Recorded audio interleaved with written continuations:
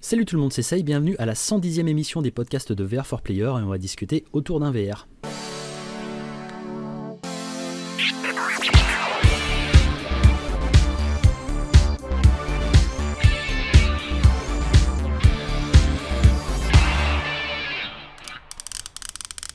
Et voilà, c'est l'hiver, mais nous on est chaud pour vous retrouver pour euh, cette nouvelle émission. Euh, comme vous pouvez le constater, il n'y a pas Majo, l'homme le plus détesté du monde, euh, du monde gaming VR français n'est pas là. mais on lui fait des gros bisous, on fait aussi des gros bisous à Steph, qui peut pas être là non plus ce soir. mais on a quand même El Rocco, qui a pu se libérer, qui est en pleine forme. Salut, quand même. Quand même, on va se contenter de ça. Salut, meilleurs vœux. Ah oui, c'est vrai. Un bonne année. Ah oui, c'est vrai. meilleur. Bonne année. Bon, bonne année. Je te souhaite pas une bonne santé, hein. Bon, voilà. Non, non, non. proches, nanana, et tout ça, et tout nouveau de Santé, argent, bonheur, on s'en fout. On veut des jeux PSVR. On veut des jeux PSVR 2. Voilà, c'est tout ce qu'on veut et c'est tout ce qu'on vous souhaite aussi. Alors, t'as bien, as bien bouffé, euh, elle? Ah oui, j'ai bien réveillonné. J'ai passé un, Noël un peu euh, à la, comme les inconnus, mais euh, un petit mot. Il y a eu du débat politique. Alors, Il y a eu du euh, c'est une, une, variante. C'est une variante. On va dire qu'il y a eu de l'animation. Moi, j'étais là avec mes popcorn et puis je regardais un petit peu les giclées de sang et tout. D'accord. Ah, C'était sympa. Non, vraiment. T'as pas, pas cassé la télé Comment?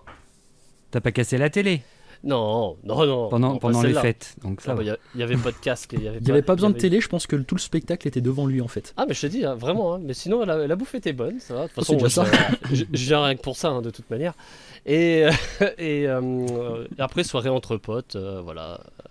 Qui, la routine, quoi. La routine. Parfait. Dont le pote du Japon qui m'a apporté encore une bonne petite plâtrée euh, de jeux japonais. On va ah. dire des doublons du PlayStation VR 2. Euh, des doublons du ah. PlayStation VR, pardon.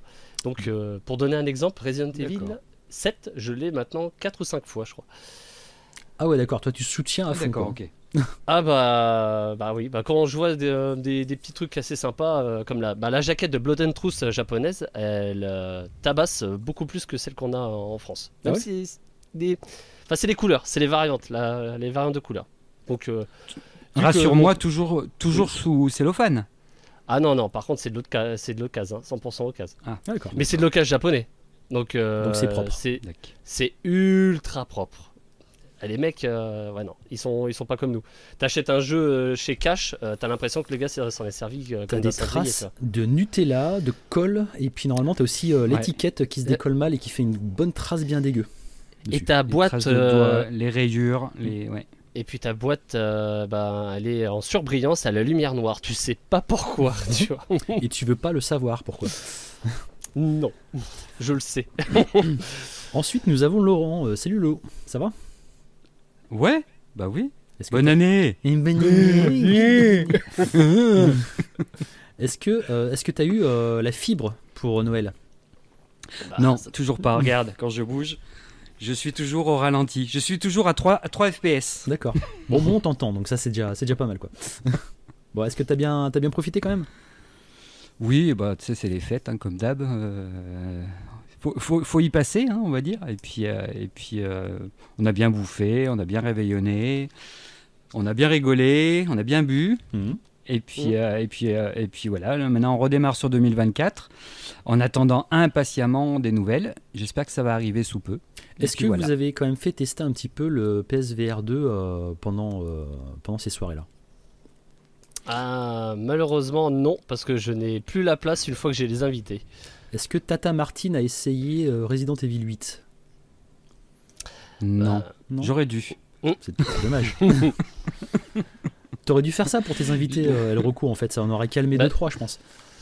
Je, sais bien, mais le seul qui était vraiment ultra chaud, c'était un petit de 7 ans. Donc, Ah ouais D'accord. Voilà, voilà. J'imagine le, petit de 7 ans, c'est ouais, moi Macron, euh, la marre, euh, jaune. oh bah il était avec la clope au bec et tout. Ouais, la VR, ouais, je veux bien. N'est-ce pas N'est-ce pas ils, sont, ils sont précoces à cet âge. Hein. Euh, non, donc le, le, petit, j'ai fait ouais, t'es peut-être un petit peu, t'es peut-être un peu jeune, voilà. Attends que tes yeux finissent d'être formés et puis on verra plus tard. D'accord, ça marche. Bon. Ah non, moi j'ai. Euh, donc le jour de l'an, c'était le, lundi, le lundi soir ou le dimanche soir, je sais plus? C'était le dimanche, euh, le jour de l'an. Le dimanche soir. Euh, et donc la veille, on a eu la bonne idée d'aller boire un coup dans un bar avec des copains que j'avais pas vu depuis longtemps. Et, et moi, ça m'a fait beaucoup rire parce que, bon, bah, bien sûr, on n'a pas bu que de l'eau, hein, mais au bout d'un moment, bah, on, en est venu. Ils avaient, tous ils avaient tous sur la table, ils avaient tous une PS5. Et puis au bout d'un moment, on est venu à parler de, du PSVR 2. Et là, bah, ce qui m'a étonné, c'est qu'au départ, ils étaient tous euh, donc joueurs PS5 et ils disaient euh, Ouais, je le regarde ce, PSVR 2, ça m'intéresse. Euh. Donc je dis Ah, bon, bah, c'est bien. Alors, bien ah. sûr, comme, comme, je dis toujours, ben, les, trucs qu'ils voulaient, parce que c'était vraiment les, joueurs qui ne connaissaient absolument pas la VR. Et donc là, eux, ce qui m'ont dit, c'est Resident Evil, Gran Turismo, Horizon. C'est les trois qu'ils ont retenus. Euh, et puis après, derrière, on a commencé à parler VR et tout ça. Et, euh, et là, ben, euh, je sais plus qui c'est qui est venu à dire Ouais, il faut, choisir quoi Un Quest 3 ou un PSVR 2 finalement Parce que l'autre, il a pas de fil. Le truc à demander à Laurent. Et du coup, Mais qu'est-ce que tu as répondu Eh ben, je leur justement, je ne leur ai pas répondu parce que, parce que ça m'a, j'avais pas envie de répondre. Donc, je leur ai dit T'aurais dû leur dire que tout le Quest 2, il est déjà sur le PlayStation VR 2. Non, j'ai sorti mon téléphone et je leur ai montré des trailers de jeux Quest 3 sans donner mon avis. Et pendant à peu près une heure et demie, le reste de la soirée, ils se sont foutus de ma gueule. Pourquoi? Bah parce que pour eux c'était pas des jeux, ils disaient ça c'est des trucs de PS2 quoi. Ah bah oui. Euh, et, d'ailleurs je les ai recroisés et, ils en rigolent encore. En train de me dire, en train de me dire euh, alors c'est après coup qu'on a discuté, je leur ai dit mais attention, euh, la VR c'est pas ça, il n'y a pas que ça. Euh, et du coup j'en ai invité deux à venir essayer le PSVR 2 à la maison quelques jours après le jour de l'an. et donc je leur ai fait tester vite fait Gran Turismo 7, vite fait Resident Evil 4. et bien sûr, ben, je pense que j'ai À mon avis j'ai vendu, j'ai vendu deux casques. D'accord, ah bah c'est cool ça. donc tu as fait ton œuvre, c'est pas mal. Ils, voilà, ils avaient déjà les PS5 et ils, étaient déjà intéressés. Et en fait, le fait de venir à la maison pour le tester, je crois que ça, c'est bon. Ils, ont vu ce que ça donnait. Et bah, surtout s'ils ont les jeux, le mode, euh, voilà, il, est gratos, donc euh, il n'y a plus que le. Ils ont plus qu'à acheter le casque. Ah oui, en plus, ouais, s'ils ont déjà les jeux, oui, c'est mm. clair. Bon, voilà. Euh, bah, c'est ça qui fait vendre, hein, les grosses licences qui parlent les grosses licences et surtout essayer le casque. Donc on espère que vous aussi, vous avez eu l'occasion de faire tester euh, le casque euh, et la VR même en général euh, à vos convives. ça fait toujours son petit effet, je veux dire, de mettre un petit, jeu casu, c'est même un petit truc sympa à des gens qui sont un peu chauds. C'est toujours des bonnes barres de, rigolade, donc, donc voilà, faut, faut pas hésiter, en tout cas profiter de l'occasion. avant de commencer, je voulais faire le petit point sur les tipeurs, donc la page typique vous pourrez trouver sur la première page d'accueil de VR for Player. Et donc, nous remercions collégialement euh, Pierre EXM, Danny Versavel, VR Caviar, Gis, Brolizy, Mixtou, Mathieu Atalante, Philomène, Gilles, euh, Mopipoc, euh, Louvea, Calt. Alors le anonyme, le anonyme, il me semble que c'est Stanislas sur le, sur, le, sur le Discord. Donc voilà, ça y est, je peux enfin te remercier. Ah bon ah. Puisqu'il m'a dit ouais, euh, je suis tipeur, j'ai pas été remercié, monde d'enculé. Mais en fait, en même temps, il est marqué anonyme, donc euh, bon. Et enfin, Terror Girl. Euh, donc, eh ben, on vous remercie tous pour, pour votre soutien. donc voilà, si aussi vous êtes auditeur et que vous n'osez pas aller sur la page Tipeee, eh ben allez-y. Il y a euh, grand-mère qui a fait le chèque euh, pour euh, Noël 2023, et ben allez tout claquer sur, sur notre Tipeee et puis comme ça on pourra vous remercier vous en bonne, bonne et due forme. Voilà. Ensuite, je vais pas faire de promo parce que ça fait un long moment qu'on long moment qu'on l'a pas fait. Vous savez où est-ce que vous pouvez nous retrouver. De toute façon, si vous êtes là, c'est que vous savez où nous trouver. Tu vas la faire. Voilà. tu, pour la faire. Tu, tu veux le faire? ah non, non, je veux pas le faire, mais t'allais la faire. À chaque fois tu dis tu la fais pas et tu la fais. Oh, c'est chiant. Ouais, non, non, c'est chiant. Euh... Ouais, non, c'est chiant. Allez, on passe. Euh, on va passer directement dans le vif du sujet avec les news de Laurent et euh, notamment des choses que nous avons découvert au CES où Sony était présent. Oui. Il y a eu du surprise. Alors avant, avant de parler du CES, je voulais juste faire un petit point euh, toutes les deux semaines parce que on, le fait en, on le fait en fait sur le, sur le général du Discord.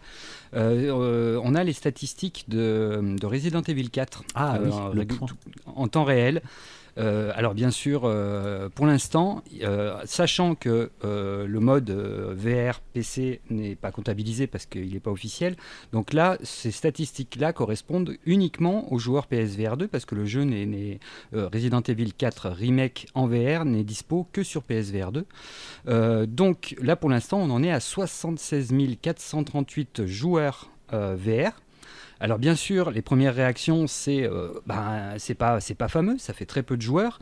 Euh, alors là déjà, si on regarde comparativement à Resident Evil 7, c'est vrai que Resident Evil 7, on est à 1 300 000 joueurs sur Resident Evil 7, tout en sachant que les joueurs PSVR sur Resident Evil 7 continuent à augmenter à l'heure où on parle.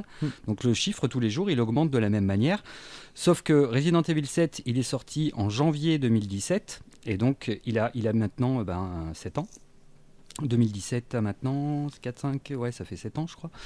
Euh, alors que, que, notre petit euh, Resident Evil 4 n'est sorti que le 8 décembre. Donc, il a à peine un mois. En VR. En VR. En VR. En VR. Donc il a à peine un mois, et donc en un mois, il y a déjà 76 438 joueurs. Ce chiffre-là augmente tous les jours. On a démarré à commencer à regarder les chiffres, on était à 0,2%. Maintenant, on est à 1,31% de l'ensemble des joueurs de Resident Evil 4 sur... Parce que ce qui est comptabilisé dans, ce, dans ces pourcentages, c'est ça, aussi qui m'a étonné, c'est... Ah, ah, ah, je vais le trouver.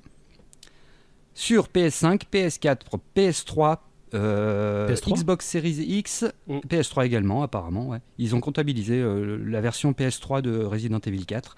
Ils ont comptabilisé ah. Xbox Series X, Xbox One, Xbox 360, Nintendo Switch, Steam et Windows. Donc sur toutes ces plateformes, eh ben, les, les joueurs PSVR 2 représentent 1,2% mais ça me paraît euh, super bizarre parce qu'il n'est pas sorti sur euh, PS3 et Xbox 360. Eh ben, le remake, il est, est-ce qu'il le, remake, il est pas sorti sur Switch. Non, mais alors, la, page, la, page de statistiques, c'est ça qui m'étonne, c'est que la page de statistiques de, de, de hein. Capcom, euh, en fait, non, je pense. Euh, à mon avis, il n'y a pas de coquille, mais ils ont oublié, ils ont oublié des choses. C'est là où c'est pas très logique. En fait, quand tu arrives sur, sur la, page de Capcom, qui, tu as tous les Resident Evil, tu as Resident Evil 1, 2, 3 jusqu'au 8. Et euh, quand tu vas, tu as les statistiques du jeu. Donc ça intègre également les ventes de Resident Evil 4 euh, des premières versions, sans parler du remake. Mmh. Parce que de toute façon, le remake n'est jamais sorti sur Switch. Pourtant, il y a le logo Switch. Mais par contre, la version Quest n'est pas comptabilisée dans dans, dans ces statistiques. C'est ça qui est bizarre.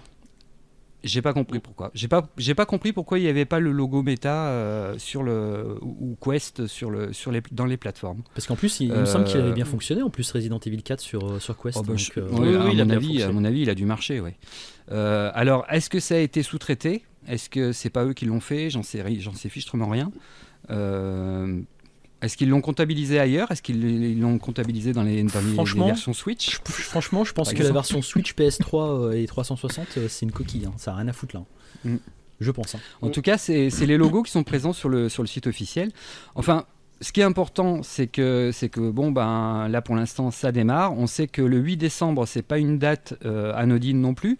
C'est la date de Resident Evil 4, mais c'est aussi la date de lancement sur, du PSVR 2 en Inde. Et l'Inde est aujourd'hui le pays le plus peuplé au monde. Alors même si le salaire moyen est à 500 euros par, euh, mois, il euh, ne faut pas oublier que l'Inde, c'est un pays en plein développement et euh, il y, a de plus en plus de gens riches en Inde. Donc c'est peut-être un marché qui peut être porteur, surtout sur, plus, sur un milliard et quelques d'habitants. Donc il est sorti le même jour euh, et, maintenant bah, il faut suivre, il faut voir si ça continue à monter ou si ça stagne. Enfin, c'est un bon indicateur. Quoi. Donc on suit ça régulièrement et puis je pense à la prochaine émission, je, prendrai 10 secondes pour vous dire où on en, où on en est. On fera le point RE4. Voilà. À chaque fois. On avait déjà fait ça, je crois, pour euh, Resident Evil 7 à l'époque. Oui, tu nous avais qui avait commencé tout doux aussi. Hmm. Au début, je me rappelle, au début, on disait ouais, c'est pas Jojo. Et puis, je me rappelle qu'on avait fait un premier article quand c'était à. On était arrivé à. Je crois que c'était 8 ou 9% hmm. des, des, joueurs euh, au total. Et on n'était que les joueurs PSVR. Et ce qui était pas mal quand même, en tout cas, c'est assez honorable. ce qui était carrément bien. C'est carrément honorable. Bah, au final, 1, million, 1 million 300 000 ventes en VR sur euh, PSVR, le 7. C'est pas dégueu. Euh, très bien. Pas mal. Et eh ben, on, en, reviendra dessus du coup euh, dans deux semaines. On va passer maintenant au CES. Au CES. Voilà. et notamment, sans entrer trop trop dans les détails, une petite surprise qu'il y a eu au niveau de la VR, avec une présentation d'un nouveau casque Sony.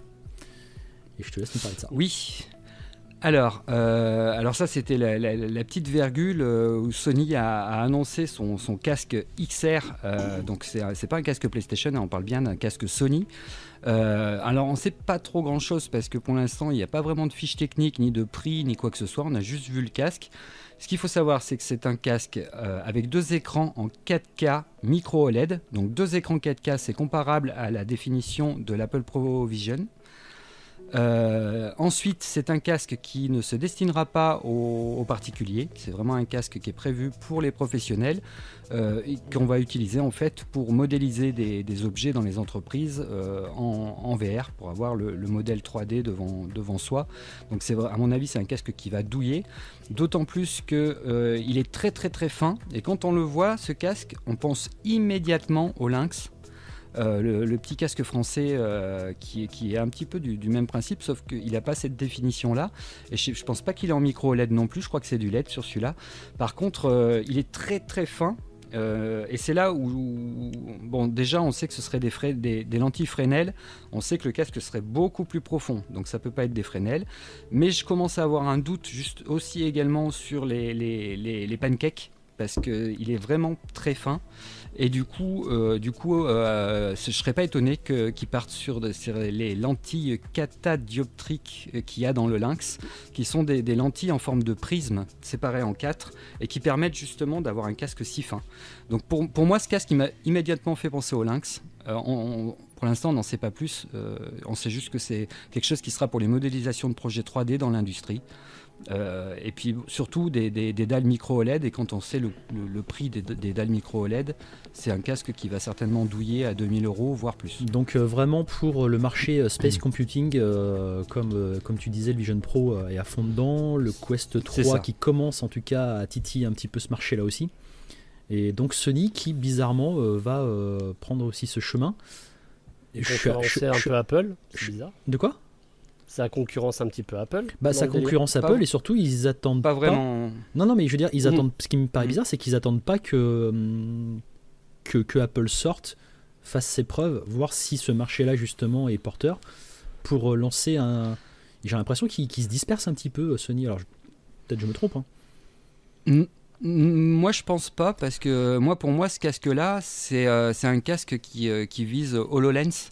Euh, c'est un casque pour l'industrie. Mais ça a jamais euh, marché, ça, HoloLens. C'est même abandonné, en fait. Ça a duré. Euh, oh, l'armée américaine, on a commandé un bon paquet pour faire des, des, essais. Il y a pas mal d'entreprises américaines. Pour faire des trucs custom. Je pense pas que ce soit un fiasco. Pour faire du custom. Bon, déjà, HoloLens, ça coûtait 5000 balles. Mm. mais, mais disons que déjà, c'est pas du tout la même cible que, que, que l'Apple Vision. L'Apple Vision, ça reste, c'est pas un, casque de réalité virtuelle, c'est un ordinateur virtuel. Euh, donc il y, a un système d'exploitation, il y, a, tout ça derrière, il y a des logiciels pour faire, faire tourner un, ordinateur virtuel. Là, c'est plutôt, à mon avis, un, casque qui va pouvoir être relié à n'importe quelle application 3D. Et, dans lequel euh, il va y avoir certainement un, système à, l'intérieur qui va permettre de, de, retransformer tes modélisations 3D en, objets devant toi en réalité virtuelle, mais ça se limitera à ça. Euh, il n'y aura pas d'application comme YouTube, il n'y aura pas de, de télé ou de jeux vidéo, il y aura, c'est vraiment quelque chose qui va être euh, uniquement pour, travailler. Donc, hmm. euh, voilà, faut, faut pas oublier aussi vraiment la... pro. Faut pas oublier aussi la place de Sony euh, dans, dans, dans, les productions cinématographiques. c'est vrai que, et c'est vrai que du coup, bah, ils ont un marché quasiment tout fait, quoi. Tellement ils produisent en fait justement à ce niveau-là. Donc pourquoi pas. C'est ça, c'est autant, l'industrie euh, de cinéma pourront peut-être s'en servir. On se rappelle de, je crois que c'était, je sais plus quel film c'était, je crois que c'était sur Avatar, où James Cameron euh, avait dit que c'était génial puisqu'ils avaient utilisé un nouveau logiciel à l'époque pour le premier, hein, où, euh, où ils pouvaient avoir en temps réel les, les, donc les acteurs qui jouaient avec leur balle de ping-pong en, motion capture, et en temps réel, il avait une, une pré-modélisation des navis sur le plateau. Hein, et ils voyaient ce que ça pouvait donner pour ces cadrages. Est-ce que, est que Sony peut pas utiliser ce genre de casque pour euh, justement que le réalisateur mette le casque et mhm. puisse voir ses acteurs avec, des, avec leur, leur, double virtuel? Euh, Je sais pas jusqu'où ils veulent aller. En tout cas, ce casque-là, on va peu en parler parce que de toute façon, c'est vraiment un casque qui va, à mon avis, coûter une blinde et et en plus, sera pas orienté qui, sera pas du tout. T'achètes ça, tu peux rien en faire à la maison en fait. Mhm. Donc, euh. Ouais, c'est vrai que c'est bon, c'est une proposition en tout cas, une proposition un petit peu différente de Sony. Euh. je, préfère le Vision Pro, je saurais quoi en faire. Là, celui-là, je sais pas quoi en faire. Ah euh, même si, même si j'adore la. Oh, fanboy. Ah ben, ah ben, non, non, pas du tout, parce que j'adore, j'adore, j'adore Sony aussi. Mais c'est vrai qu'on te donne les deux casques, même si euh, les deux coûtent le même prix, on te donne les deux casques. Si on te demande si tu préfères ton père ou ta mère, quoi, tu, tu. Mais, mais, les deux, mais, mais, quand même. Mais non. Bah, tu, tu dis non, mais t'as déjà choisi. Mais tu pourras, tu pourras, tu pourras rien en faire de ce casque Sony, toi, si t'as pas les, les logiciels. Ah, qui moi, de toute façon, 10 000 euros. De toute façon, déjà euh, un casque, un PSVR 2 ou un Quest 3, je sais même pas quoi en faire. Donc, euh, je veux dire, voilà. Oh. Ce casque, tu, tu, pourras même pas le brancher sur ta console. Tu pourras, il est même pas, tu pourras rien en faire de ce casque. Est-ce que tu pourras le brancher euh, sur un Walkman? Ah, Tu sais ça, ça Ouais, je pense que oui, vu qu'on peut mettre déjà le, le sub-pack donc, euh, très bien. Bon voilà, en tout cas, c'est tout ce qu'on avait à dire sur, euh, sur ce. Ouais, je ne sais même pas comment il s'appelle, le Sony XR, un truc comme ça XR. Ah, je me rappelle même plus du nom. Euh, ouais, c'est un casque XR Sony. Bon, XR, ils vont Sony, reparler. Siemens, un truc comme ça. Voilà. Bon voilà. On verra ce que ça donne. C'est pas ça. Mais ce CES, ça a été aussi un grand, un grand, beaucoup d'espoir. Donc il a eu lieu quand même dans la nuit, le 8 janvier euh, enfin, c'était le 9 janvier pour nous, c'était à 2h du matin.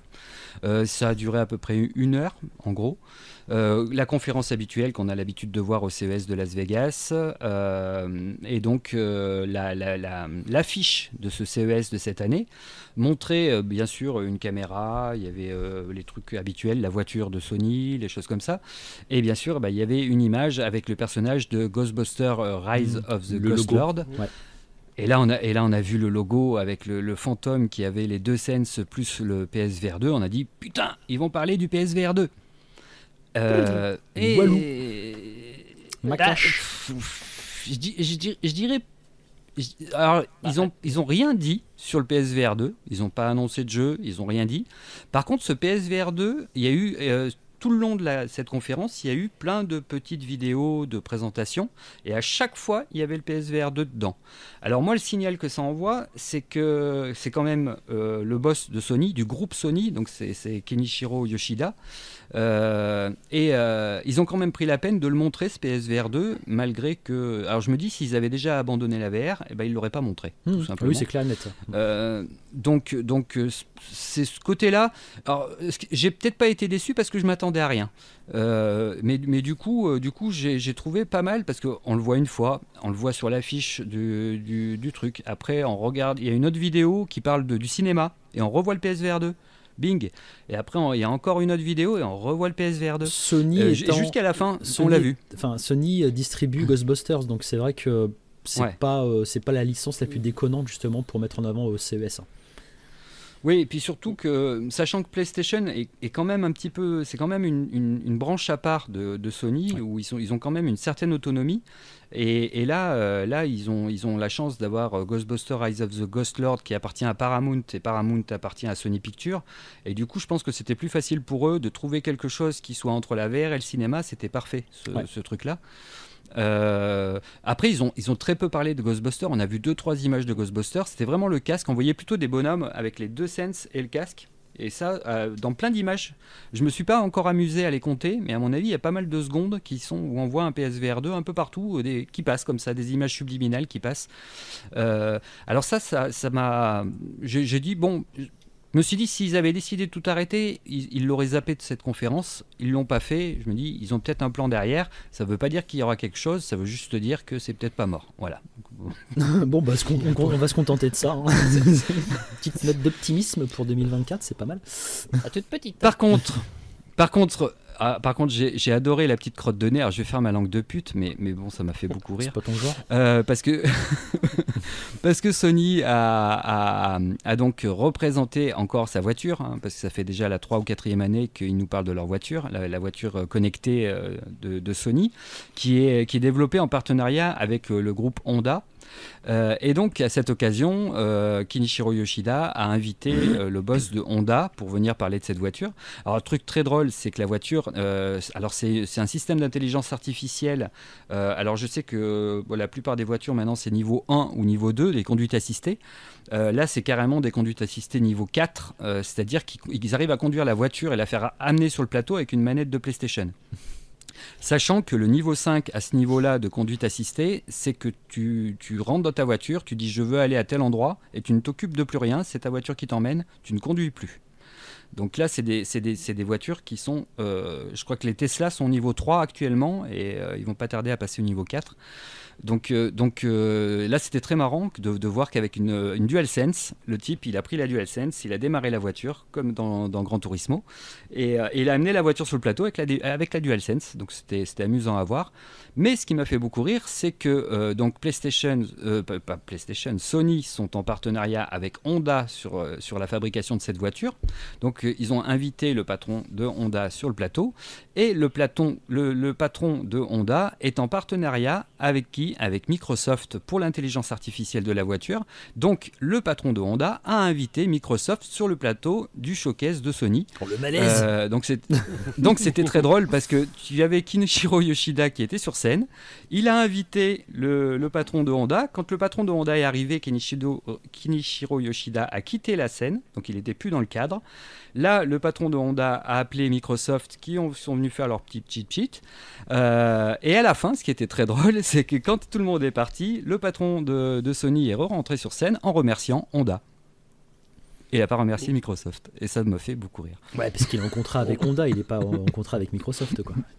Ouais. C'est comme les gamins qui peuvent pas se euh, blairer, vous serrez la main, et puis serrent la main vite fait. ah bah c'était c'était un peu cette impression, euh, enfin sachant que quand même euh, Sony et, Microsoft sont en partenariat au niveau de l'intelligence artificielle, ils ont des contrats ensemble. Hmm. Mais c'est la façon dont il a fait, parce qu'il a quand, quand, le patron de Honda est parti, il lui a dit merci machin machin San, je sais plus son nom, de Honda, il a bien précisé Honda, et après il a remis une couche en disant notre partenaire Honda, blablabla, mais à aucun moment il a dit merci à Microsoft. Et voilà, au revoir tout le monde.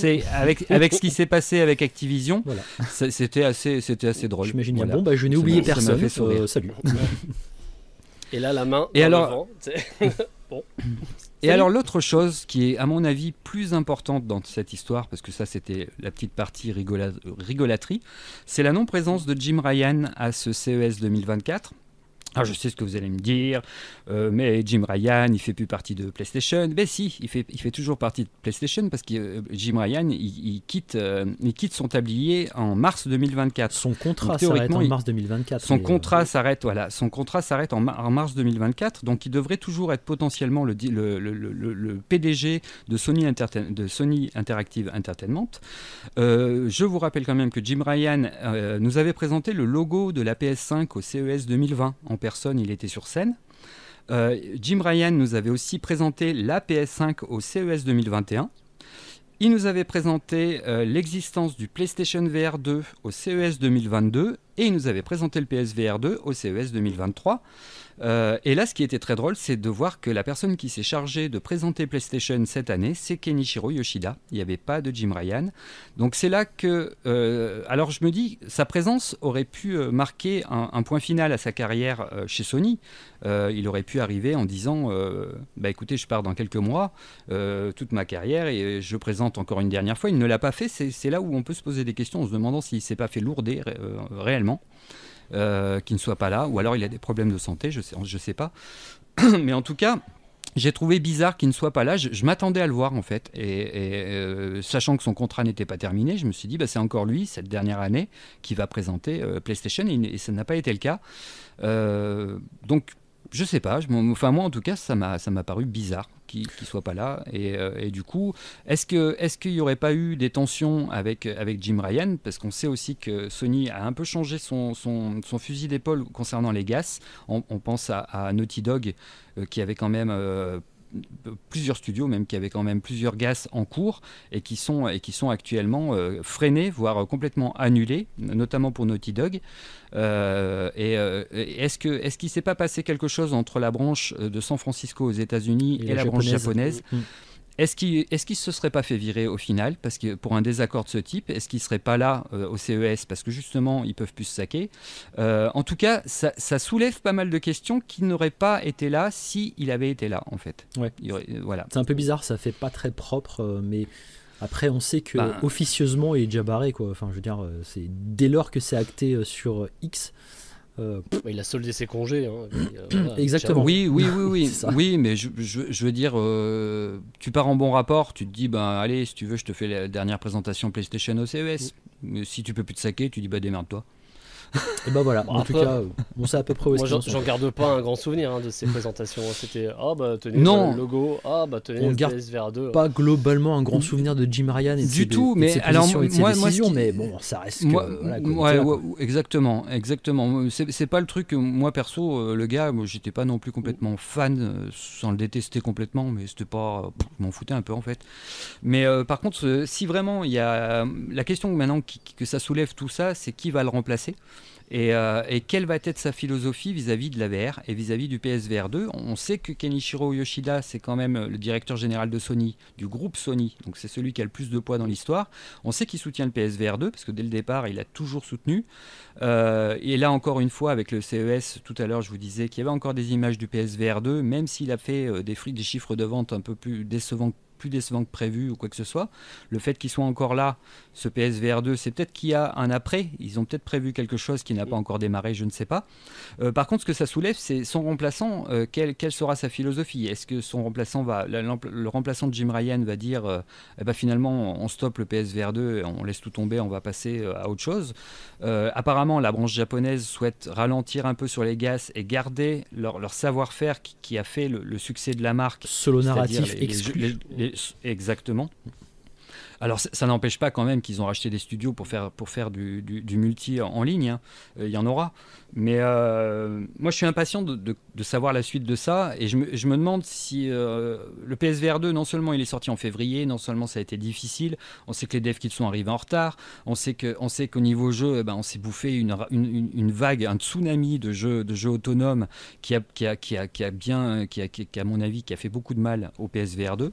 en tout et cas au primo acquéreurs qui ont un petit peu les boules de ça. Oui, Surtout ça en fait. Bah, ça n'a pas fait de mal à nous parce que nous, on, nous on, est, on est, on est la, petite niche fanboy de VR. On savait que ce qu'on allait avoir. Euh, on arrive, on arrive des fois. Enfin, vous arrivez des fois à être content de, ce que vous avez. J'étais ravi avec Arizona Sunshine 2. Je le répète. Voilà. Pour moi, c'est un très bon jeu. Mais, euh, mais par contre, c'est vrai que si, euh, de toute façon, il n'y a, a, pas de secret. Si Sony veut, veut vendre son PSVR 2, il faut pas qu'il vise, un, il visera jamais un public geek c'est pas possible parce que le public geek il va pas acheter une console plus, euh, plus un casque juste pour jouer à, à, des jeux Quest. dans ce cas-là, il va acheter un Quest, ça coûte moins cher. C'est un, euh, c'est un, discours qu'on entend régulièrement et vous pouvez d'ailleurs retrouver Laurent en spectacle sur le Discord euh, à peu près une fois tous les deux jours avec la diatribe sur ce que les joueurs PS5 veulent en VR.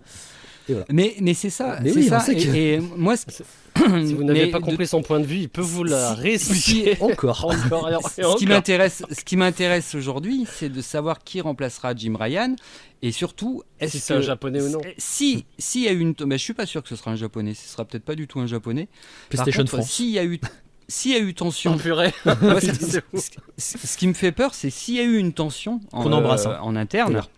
Est-ce que, est que les choses ont été faites correctement il y a 3 ou 4 ans Et, est-ce que les jeux vont arriver? Si par exemple ils ont dit bon bah la VR on s'en fout un peu, on s'en occupe pas, oh. ça veut dire que là maintenant on devrait avoir des jeux et on les aura pas. Je viens de me dire, t'imagines Nicolas Doucette, paf, télescopé, télescopé euh, tête de gondole euh, PlayStation, putain mais comment je kifferais. En vrai. Euh, Elmont, Elmont Earth, Earth, possible. Non, non, mais je rêve, hein, c'est juste. Ah, euh, tu, tu juste, euh, voilà, c'est juste un. Mais, mais voilà, un, gars, un gars un peu sincère avec des idées, tu vois, avec. Euh, un Nicolas Doucet. Avec une bonne cogite, putain, Nico. Il a déjà fait une sacrée progression il a fait une sacrée progression déjà, et, et d'Asobi.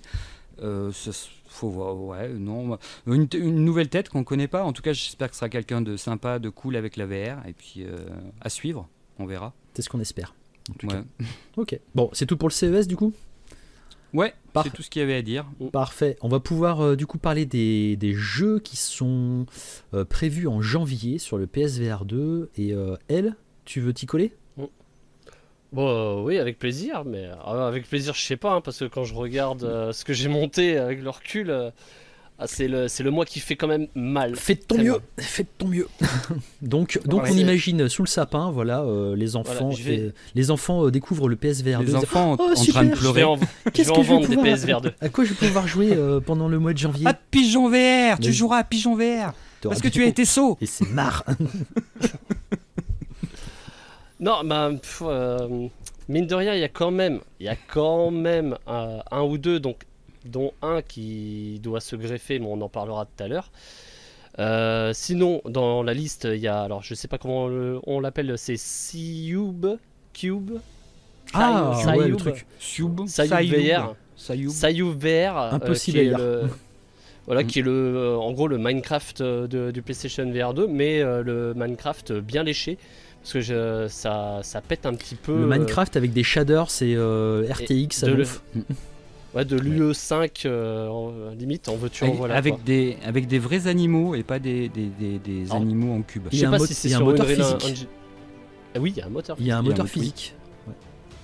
Donc, euh, bah, malgré que ça soit avec des cubes, ce qui veut dire, les gars, que quand euh, tu défonces une colonne, les gars, ça se casse la gueule. C'est pas comme dans Minecraft. Deux fois que j'entends dans l'émission, malgré que, faut pas le faire ça. Ah, s'il vous plaît. Pourquoi C'est malgré le fait que. Mais et malgré oh putain, mais oh, l'a fait, 2024, 2024, moi je veux, hein. je veux qu'on level up un petit peu. Euh, Alors toi, depuis que t'as un Quest 3, si tu veux. Euh, sur le Quest 3 sur Horizon, je n'ai jamais rencontré quelqu'un qui disait malgré que. Je suis désolé. D'ailleurs, j'ai jamais rencontré personne si tu veux, Horizon. Si tu veux, on joue, on joue pas au même Horizon, nous. Hein. Voilà.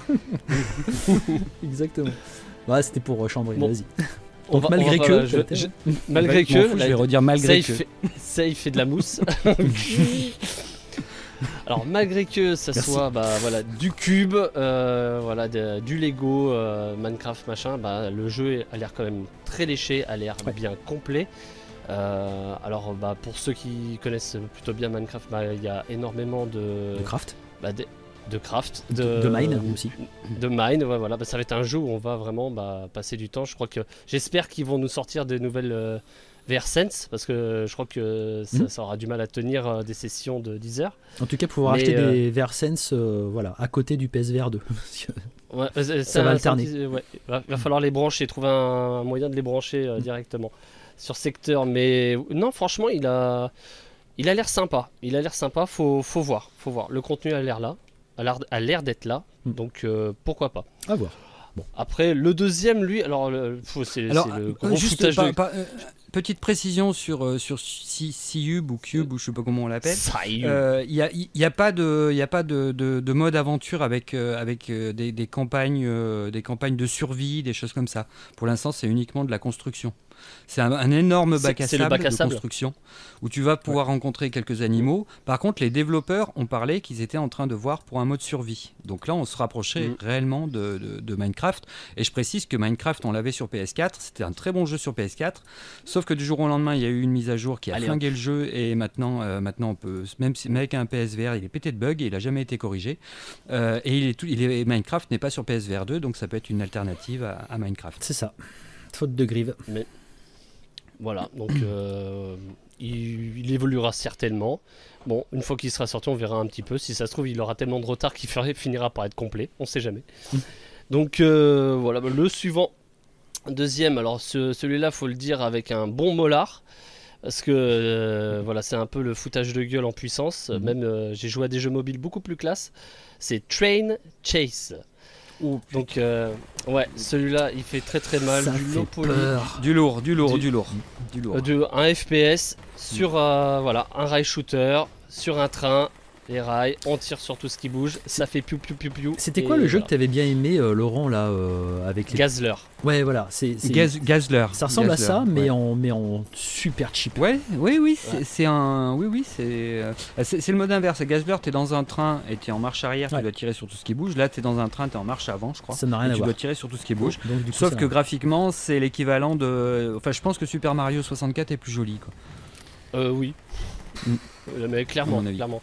Bah t'as pas de texture, t'as rien. Sauf que c'est en 4K. En 4K. En 120 FPS. Quand c'est un caca. Il n'y a pas de murat, il n'y a, pas de, y a pas de reprojection. voilà, on a dit tous les termes, c'est bon. je crois que le mec est tout seul. J'ai envie de dire qu'il manque plus que l'odeur, hein, quoi. Parce que franchement, même en 4K. Voilà, le caca en 4K, euh, non mais non, non, c'est pas possible, c'est pas possible. Ensuite, il y en a un autre. On reste dans les trains. Il y en a un autre. Ouais, mais euh, celui-là a l'air euh, plutôt sympa, parce qu'il me rappelle. alors, il s'appelle Town Trains VR. Et c'est un jeu, voilà, une petite simulation ah de train, voilà, électrique où on, ben, on commence avec très peu de pièces et puis au fur et à mesure eh ben, les composants s'étoffent, on peut faire bah, beaucoup plus de choses des, circuits beaucoup plus complexes, euh, avoir des nouveaux trains, des nouveaux modèles. Euh, et puis voilà, et puis ça bouge, ça bouge vraiment de, partout. Ça rappelle un petit peu, euh, bon la, comparaison elle est un peu tordue, mais un petit peu le style d'Emeo où on, est vraiment, on surplombe toute la scène et puis on peut se rapprocher et puis voir. C'est du, plateau. C'est du plateau. C'est du plateau, voilà. Et moi, ça m'a fait penser à, en fait une, un rêve de, ce vieux jeu sur PlayStation VR, Dreams, qui, a fait un petit peu parler de lui, qui s'appelle Tren, T-R-E-N. Et c'était justement euh, le, même principe. Et on se posait la question s'il était en VR celui-là, même sur PlayStation VR 1.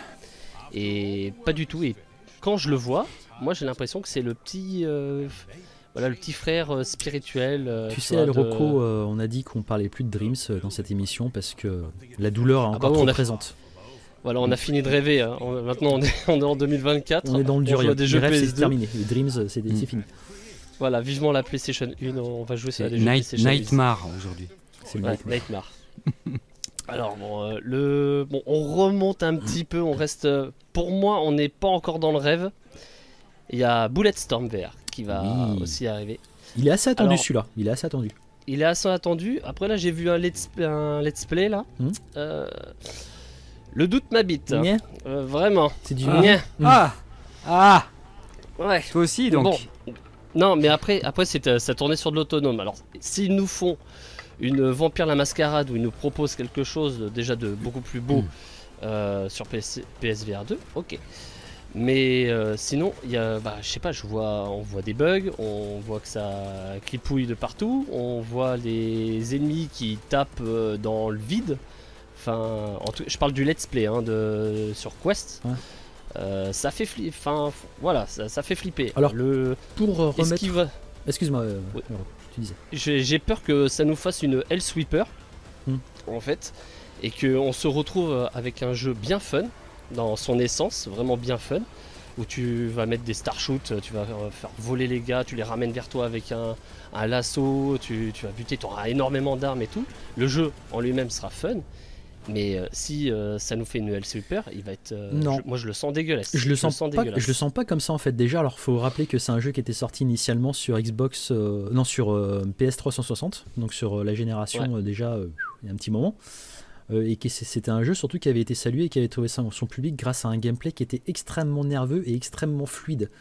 il n'a pas eu un gros gros succès commercial de mémoire. Non. Mais en tout cas, tous ceux qui avaient touché sont dit, c'est un petit peu comme comme, comme un jeu euh, que Mikami euh, de Capcom avait sorti, je sais plus comment il s'appelle, euh, vous me le direz en commentaire, et qui, qui, avait un bon succès d'estime.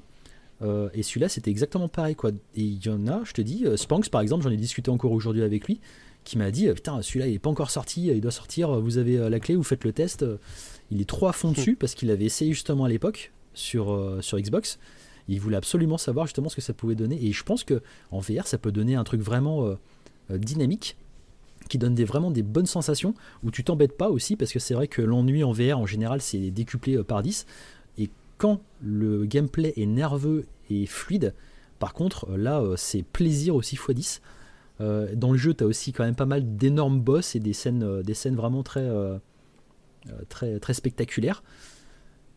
Alors j'ai pas vu ce, j'ai pas vu le gameplay dont tu parles en fait sur la sur la version Quest. J'ai même pas envie de l'avoir en fait, mm. mais je suis très très curieux de voir ce que ça peut donner sur PSVR 2 avec euh, des graphismes. Je pense pas forcément plus velus parce que finalement c'est un jeu de vieille génération, mais mais celui-là je l'attends en tout cas. Et je pense qu'il y a moyen d'avoir un truc vraiment. Euh, tu, tu, mets ton casque en fait et après c'est du non-stop quoi. C'est action, action, action. Ah oui, non, mais c'est ce que je te dis. Dans son essence, euh, il risque d'être fun. Enfin, il a des chances d'être fun. il risque.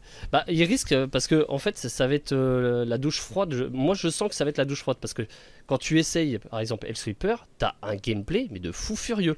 Tu vois, c'est vraiment le truc. Bah, j'ai pas bah, du tout accroché à ce jeu, donc je sais pas. Mais après, voilà. Mais en fait, c'est le, le concept le gameplay sera différent euh, par rapport à Bulletstorm. Mais j'ai peur que ça me fasse le même effet. Du genre que, bah, que la technique soit tellement à la rue euh, que, et qu'on nous ponde une, version. Alors je dis pas que ça va être le cas, mais j'ai un bad feeling, tu vois. Euh, je sais pas, je le, je le, sens bien. Sur lui. Je le sens bien. Bah, des, des, jeux un petit peu trop surhypés en général. Oh, il, est pas il est pas surhypé non plus, c'est juste qu'il y a des gens qui l'attendent. Ah non, il est pas hypé. Il, est pas surhypé. Hein. du tout. Il, est quand même plus attendu que la moyenne. Il est plus attendu que eh, Trent bah, Chase. Euh, c'est sûr. Disons, quand t'as rien, à, quand rien à bouffer, t'es content d'avoir un quignon de pain sec. Ouais, mais bon, si le quignon il s'appelle euh, Vertigo, euh, voilà, c'est pas même pain quoi. Il est un petit peu moins rassis, tu vois, mais voilà. on verra en tout cas ce que ça donne. Il y en a qui sont plutôt optimistes, d'autres, d'autres. J'ai, je demande à voir sur. Voilà. Plus dans l'attente, voilà, on, on verra. Moi, je suis confiant. Je suis confiant.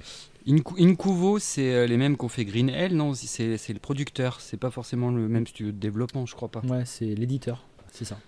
Parce que bon, Green Hell, quand il est arrivé, il n'était pas très très net non plus. Donc, euh. Ensuite, qu'est-ce qu'on a? On verra. Ah bah c'est bientôt terminé, hein. c'est le, dernier c'est Run or Die VR. Oh putain. On n'en avait pas déjà parlé de ce, cette, On en a des... C'est ersatz.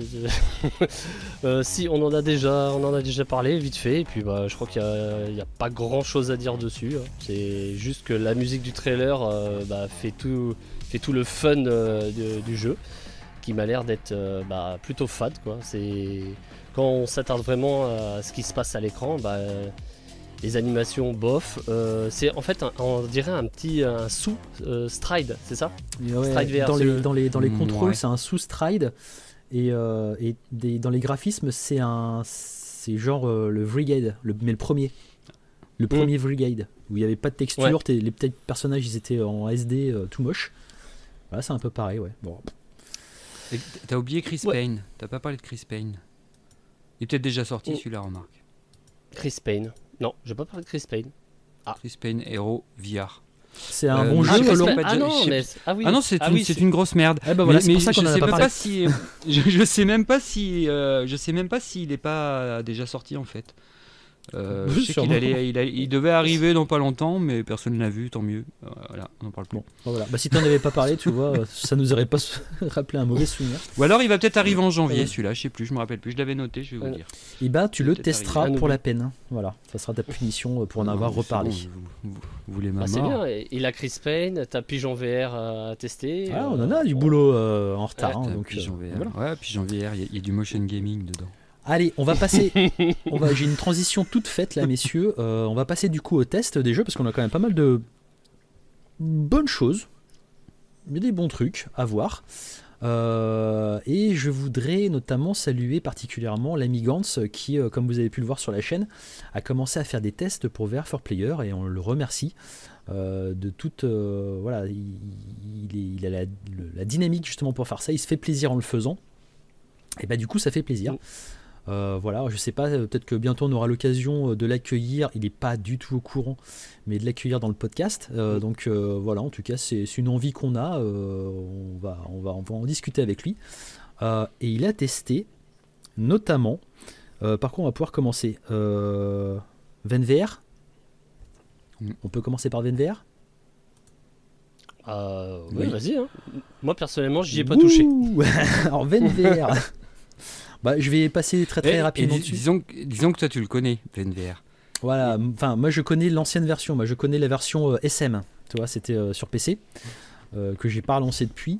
voilà, donc Monolithic Games qui, qui, a sorti ce jeu le 18 décembre 2023 au prix de 20,99€ Marise.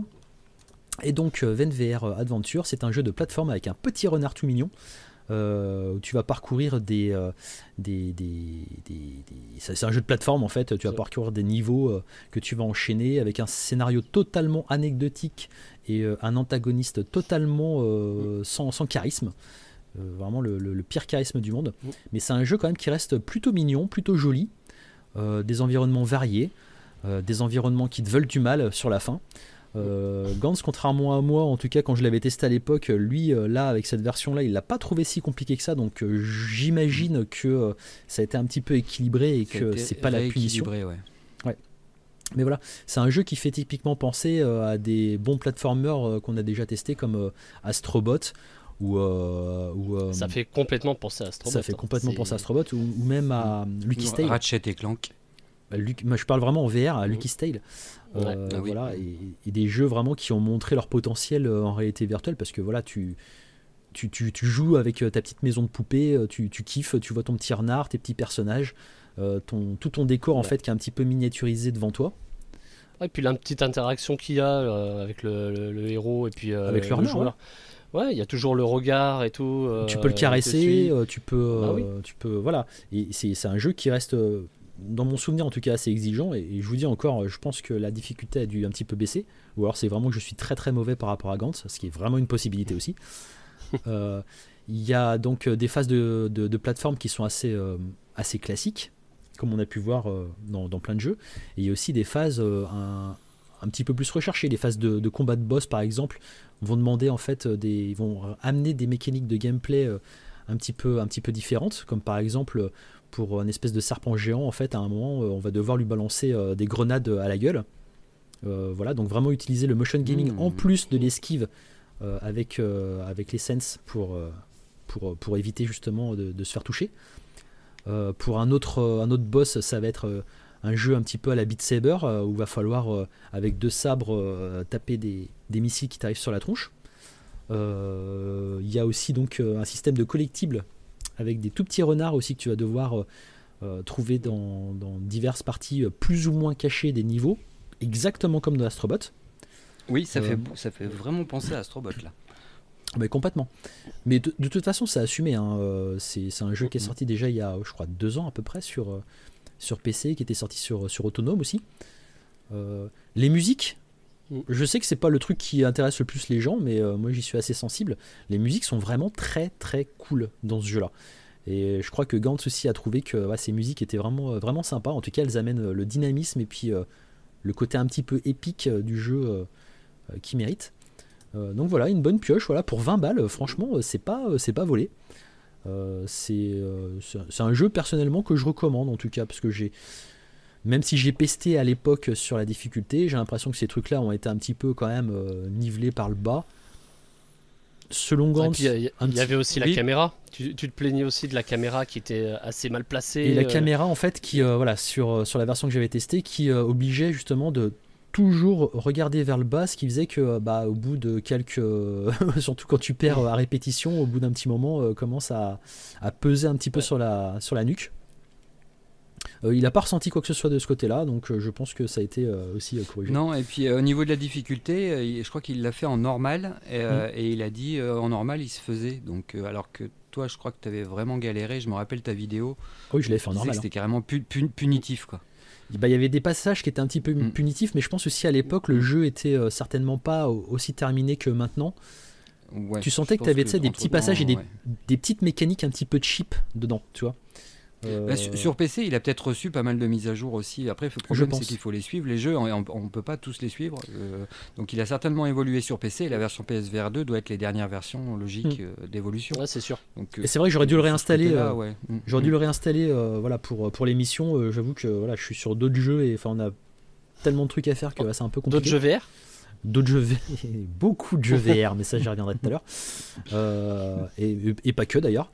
mais la quantité il y a de la quantité. Mm.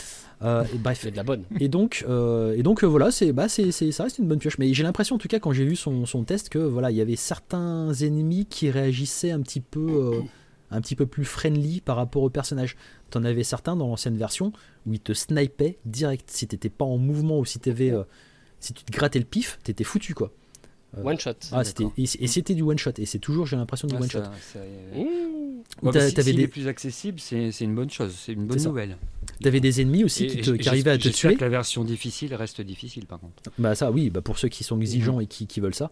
Et tu avais des ennemis aussi qui pouvaient te tuer après être mort, après que tu les aies tués. Ils pouvaient te tuer encore.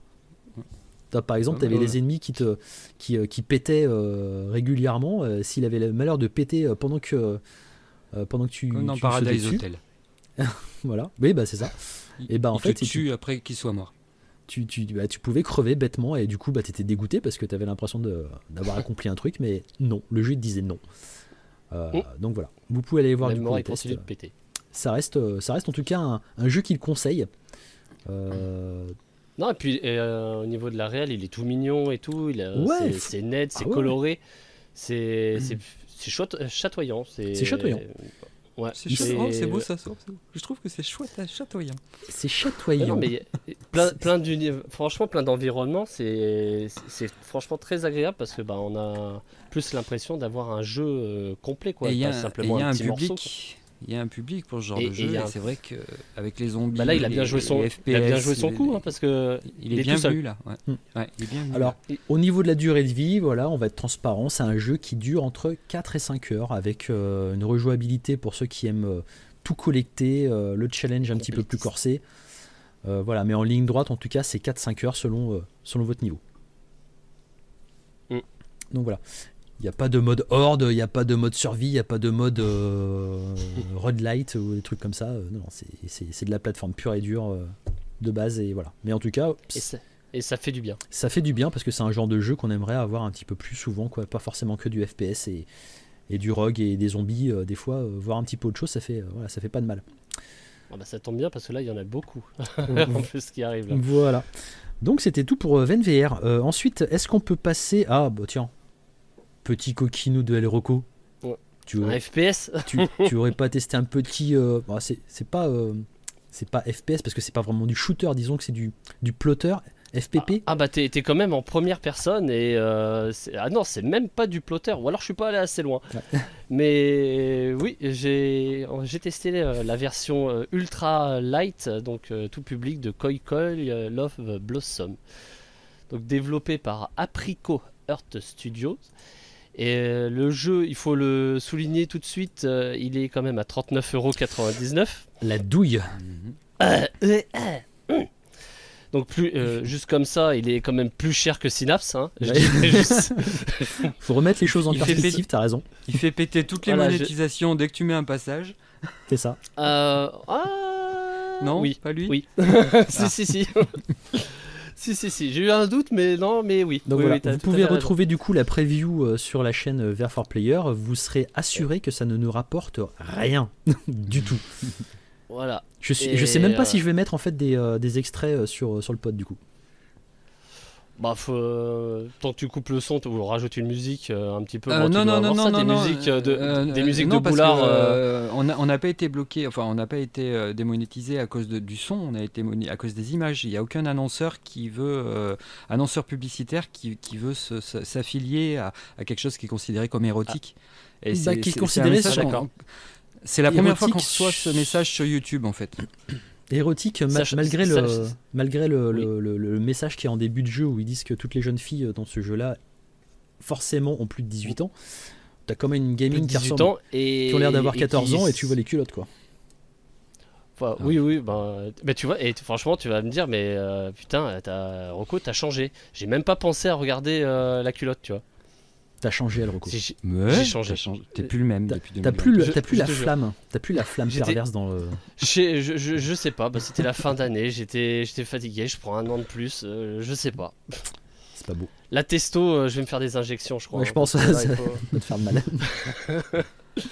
non, bah, que, que dire bah, de, de ce jeu-là? Bah, C'est c'est un petit peu un visual novel comme on avait coutume d'avoir sur le premier PlayStation VR et qui ressemble énormément à, des jeux comme Tokyo Chronos où euh, ben, on est à la première personne, on contrôle quelqu'un, on sait pas trop trop. Donc dans ce jeu-là, on, alors on incarne le protagoniste, c'est, on n'a pas son nom, mais en gros, tu es l'héritier d'une station thermale en faillite et euh, tu retournes là-bas et en allant là-bas, en, allant visiter les lieux que tu découvres. Alors tout est ouvert mais c'est vide, donc voilà, il n'y a absolument personne, tu entends du bruit qui mène en direction des bains. Et il y a les deux charmantes Kume et Sakura qui sont en train de se baigner et qui te font un scandale parce que bah elles pensaient être dans la période voilà réservée aux femmes, sachant que ce même espace est aussi mixte euh, en fonction de l'heure de la journée. Donc euh, tu t'en prends une, tu tombes dans les pommes et après euh, tu fais connaissance avec, on va dire, l'employé en soubrette limite. La gouvernante? La gouvernante, voilà, qui, qui a aussi pris de bonnes vitamines, qui s'est très très bien développée et qui te présente donc les lieux. Ah non, mais ça, c'est un truc de ouf, hein. ça, c'est abusé. c'est la légende urbaine. Euh, on a tous les clichés. Hein. Du hentai, on a tous les clichés du hentai. Euh, et elle te présente voilà, les lieux, elle t'explique un petit peu le contexte, voilà, que c'est en faillite, qu'il faut un petit peu euh, faire revenir les gens, mais que les gens voilà, sont partis parce que le lieu n'a plus la flamme. La flamme, c'est notamment bah, son, comment, son, ses arbres, qui, donc il a, c'est un cerisier blanc et un prunier qui euh, ne fait plus de fleurs ni de fruits depuis très très longtemps. Et alors, euh, ces deux arbres sont, sont liés. Alors, elles sont liées à, les deux jeunes aux deux jeunes filles, voilà, qui sont d'anciennes camarades de classe qui ont grandi, qui ont 18 ans maintenant, que tu retrouves. elles ont 18 ans. Tout va bien, c'est bon, on est sauvé. Tout va bien. YouTube, on est sauvé. 18 ans. Et en fait, eh ben, tu vas devoir euh, en séduire une ou alors les deux. Et en fonction de celle avec qui tu vas augmenter euh, ton, ta compatibilité, bah, les arbres vont fleurir à nouveau. Je, tiens, euh, je tiens à te saluer, le Rocco, pour euh, ton énorme courage, pour avoir quand même avoir réussi à faire le pitch de ce jeu. le, ah, il est chiant, hein Alors, ah, il est chiant le scénario de Koi Koi Love Blossoms. Euh, franchement, bien. je suis vraiment admiratif. C'est laborieux, c'est laborieux, mais, euh, mais en, gros, c'est ça. Hein. Euh, franchement, c'est ça. Donc bientôt sur Wikipédia va y avoir le lore de Koi Koi fait par El Rocco. Avec dans, Discord, on va, dans Discord, on va, faire un salon Koi Koi d'ailleurs. On va faire un salon Koi Koi. ça me paraît indispensable. Mais bon, voilà, après en termes euh, le jeu, alors là ça c'est le scénario, voilà, donc euh, en gros c'est posé et franchement c'est aussi bête que ça, ça se développe pas plus que ça. Euh, le jeu, techniquement, ça alias de partout, c'est franchement incompréhensible. pour donner un exemple, le, là où, comment il s'appelait déjà, Discronia, qui est pareil, visual novel japonais, exactement pareil, bah lui était assez net. C'est juste les décors qui étaient en arrière-plan qui étaient. Euh, le dessin était dégueulasse. Mais ça restait net. Là, tout ce qui est à même un mètre de toi, tout alias. Donc pour te dire, les décors, c'est de la bouillie. Là, pour le coup, c'est de la bouillie de pixels. À, 40 balles. À 40 balles, faut bien rappeler. Mm. Et qui est euh, tout public, hein, parce que mm. euh, je vais dire après l'intérêt de ce jeu en fait n'est pas sur PlayStation VR 2. Et donc graphiquement, c'est complètement à la rue, alors que le dessin, il aurait pu être sympa.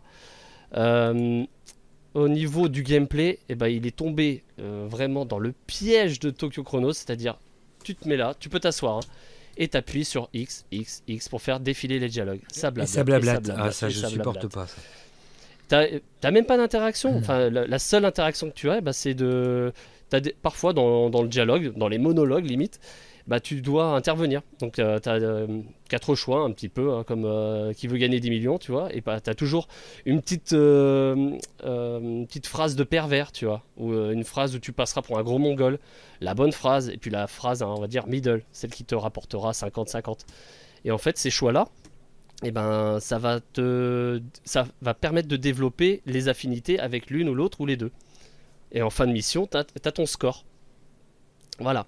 Alors, je sais pas, je l'ai pas fini, hein, mais euh, parce que franchement, j'avais perdu franchement un dixième euh, au bout de. Mine de rien, je lui ai mis 3 heures. J'ai été patient, hein. ah mais. Hein. ah non, mais mmh. il fait mal. Franchement, il fait mal aux yeux au bout d'un moment. C'est hardcore. Et du coup, voilà, le gameplay, il s'arrête euh, s'arrête là. Sachant que les déplacements ne sont pas libres, c'est de la téléportation en permanence. Mais la, la téléportation fond du noir Tu vois, c'est ah hop, et ça réapparaît. Je fais OK. Alors quand tu as une, euh, un petit scénario, tu vois, où euh, tu dois suivre, euh, entre guillemets, la, la soubrette qui te fait visiter et tout, bah c'est que des fondus. Des fondus, voilà. T'es dans le couloir, fondu. T'es dans la, pièce, tu sors de la pièce, fondu. Tu rentres dans une pièce, fondu. Et ça, ça tu peux en avoir 3, 4, 5 d'affilée. c'est chiant. C'est chiant. Est-ce qu'on peut dire que c'est un jeu qui peut trouver son public?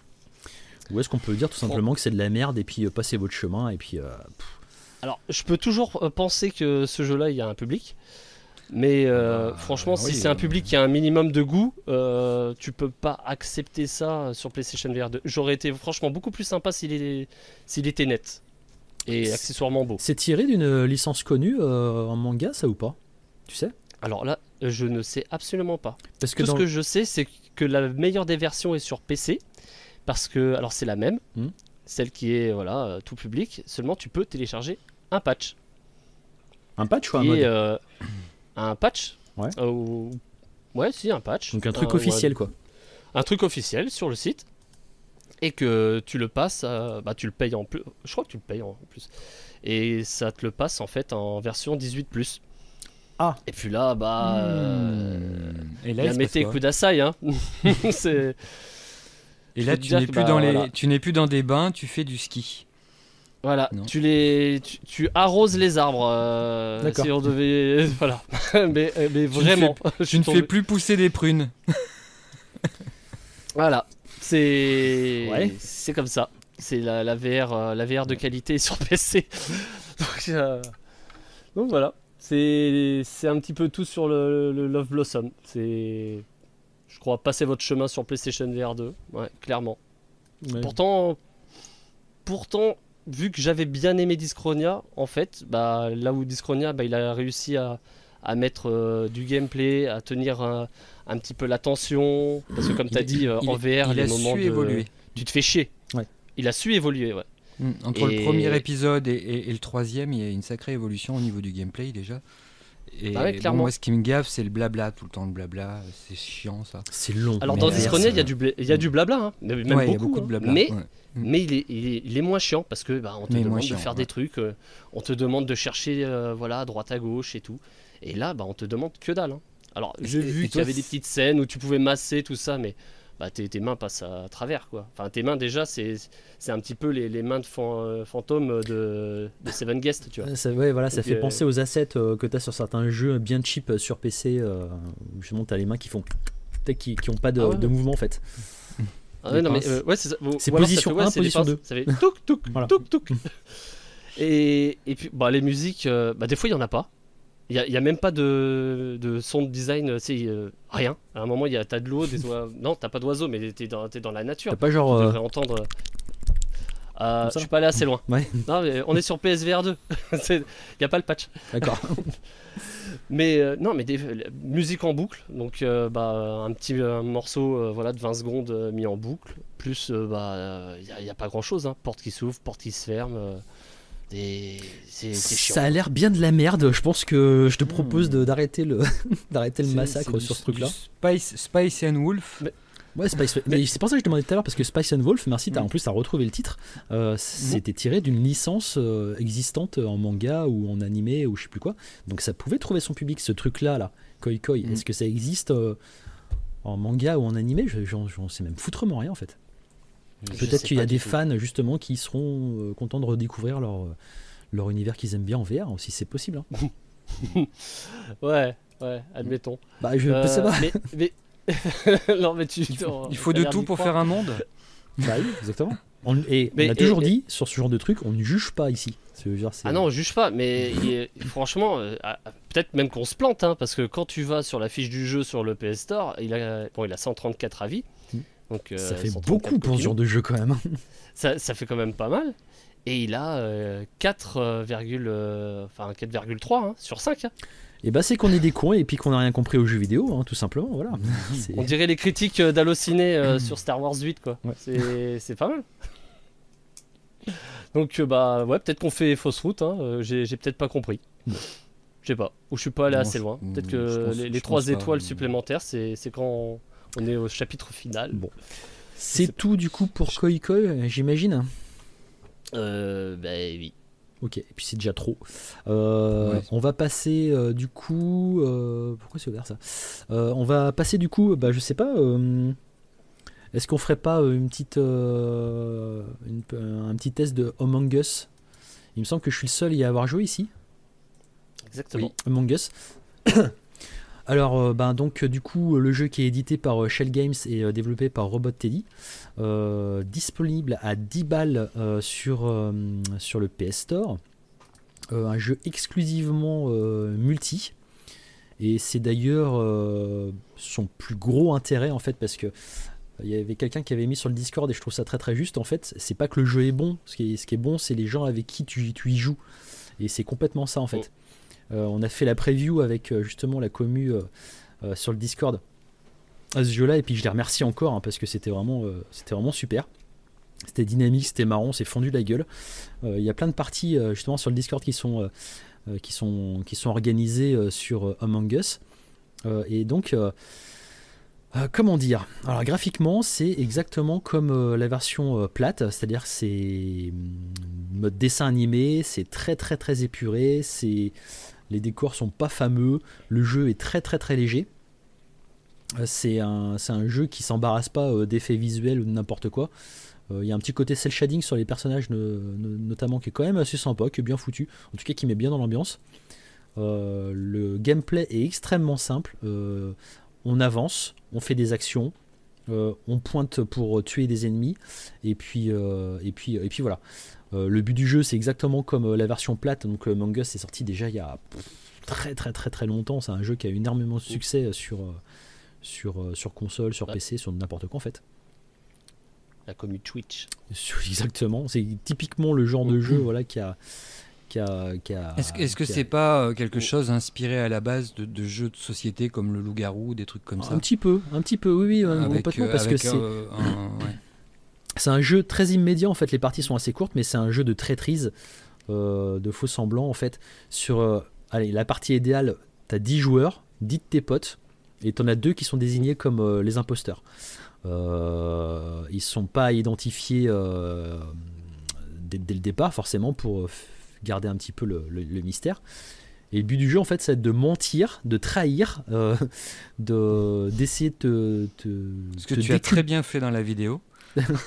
d'essayer de te déculper même quand tu es de bonne foi et ça ça aussi tu peux c'est souvent qu'il y a des innocents qui crèvent euh, que, que, que, que, les traîtres ben finalement en fait ils se retrouvent plutôt clean euh, c'est c'est un jeu d'une simplicité enfantine à comprendre euh, quand, tu, quand tu débutes une partie. Mais c'est que en fait sur l'interaction avec tes, avec tes potes que, que, que ça fonctionne. C'est des barres quand tu crèves après tu mm. peux tu peux suivre en fait l'action quand même. Tu t'entends entre fantômes. Quand tu quand, soit quand tu te fais euh, dégager du vaisseau soit euh, quand, euh, quand, tu, quand tu te fais tuer par, par un imposteur. quand tu rejoins les, victimes. Voilà. Et après, tu peux discuter juste entre fantômes. Et donc, du coup, tu, tu, tu commentes, tu regardes un petit peu comment les autres joueurs essayent de dissimuler leur, leurs actions ou sont de bonne foi. Ou alors, tous les débats qu'il peut y avoir, justement, bah, c'est lui le traitement, non, c'est l'autre. C'est vraiment des barres, quoi. Euh, et donc euh, le but du jeu, c'est euh, donc quand tu es, un coéquipier en fait, donc tu fais partie des 8 personnes qui sont, qui sont clean. tu vas avoir plein d'actions et de tâches à faire dans, ton vaisseau. Il y a deux maps différentes. Tu as le vaisseau et puis tu as, as, une base volcanique pour le moment. donc tu as des actions à faire. Une fois que les actions sont terminées, en fait, tu as gagné la partie. sinon, dès qu'il y a un cadavre qui est découvert, donc qui est tué par un des deux imposteurs, et eh ben, tu le désignes. Ensuite arrive un moment de débat où tu vas devoir voter pour ça, qui, qui, tu penses être l'imposteur.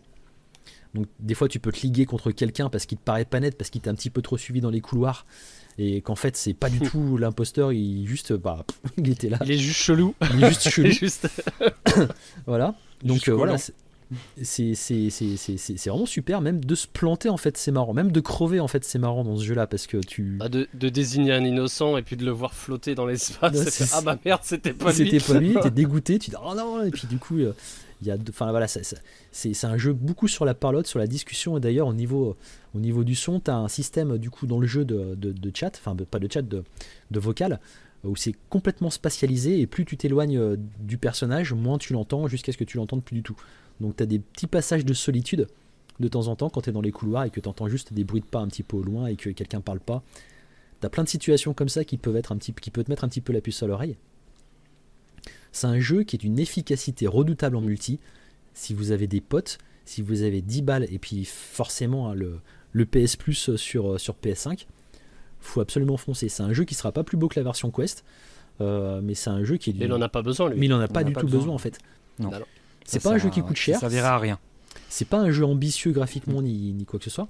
Mais en tout cas, c'est un jeu où tu es sûr de passer une bonne soirée avec tes potes. Tu es sûr et certain. C'est obligé que tu te marres. C'est obligé que tu te fasses trop de bruit. C'est obligé que tu t'engueules.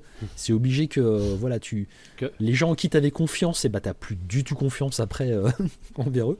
Parce que vu que c'est le but, c'est de mentir, c'est de te foutre un petit peu de la gueule du, monde, mais euh, sans, sans, que ça se voit trop. Et bah forcément, c'est super jouissif quoi. C'est donc voilà. Bah et puis il y en a, ils ont des prédispositions. Il est, cross-platform, euh, y compris avec les versions plates. Euh, avec la version plate, absolument pas, parce que vraiment le gameplay de la version plate est euh, différent. Il y a beaucoup plus de, niveaux sur la version plate et tu as un système de, passage de niveau avec de l'expérience sur la version plate qu'il n'y a pas sur la version VR. En tout ah, cas, pas pour le moment. C'est vrai que quelqu'un qui achète le casque pourrait jouer avec des copains. Euh, non, tu peux pas. En version plate, tu peux pas. C'est vraiment dommage. Même si les maps. T'as une zone aussi que tu vois pas, je crois. De, non quoi? Il faut regarder dans, une, dans le, la version plate. Il n'y a pas euh, un genre de. Tu sais, quand la, la tout autour de toi c'est sombre et tu dois orienter le, personnage. C'est pas l'orientation, c'est l'ombre en fait de ton euh, du, de la position de ton personnage. Par exemple, sur un couloir en fait, si tu es au-dessus euh, d'un angle, et eh ben tu vas pas voir ton couloir parce que forcément l'ombre et ton angle de vision en fait te permet pas de le voir. D'accord, ok. Il y, avait un jeu de ninja qui était comme ça aussi en 2D euh, sur c'était sur la il y, a une ou deux générations, enfin je me souviens plus du, du, titre. Mais en tout cas, voilà, c'est à peu près le même système. Ce qui fait que voilà, si t'es pas vraiment en face de l'action, tu en, plat, tu vois pas euh, ce qui se passe. Tu vois pas. Non. Si dans, en dehors de ton écran, forcément, tu le vois pas. Et là, bah, en fait, il n'y a pas vraiment ce genre, de, ce genre de choses parce que de toute façon, tu es sous un casque VR. Si tu sais pas dans ton champ de vision, si ça se passe derrière toi, par exemple, tu le vois pas. Ah bah c'est réglé. et ça peut donner des situations vraiment sympas où, tu as ton pote à qui tu discutes, d'un coup tu l'entends plus, tu te retournes, bah, mais il est où? Il est plus là. Il s'est fait buter.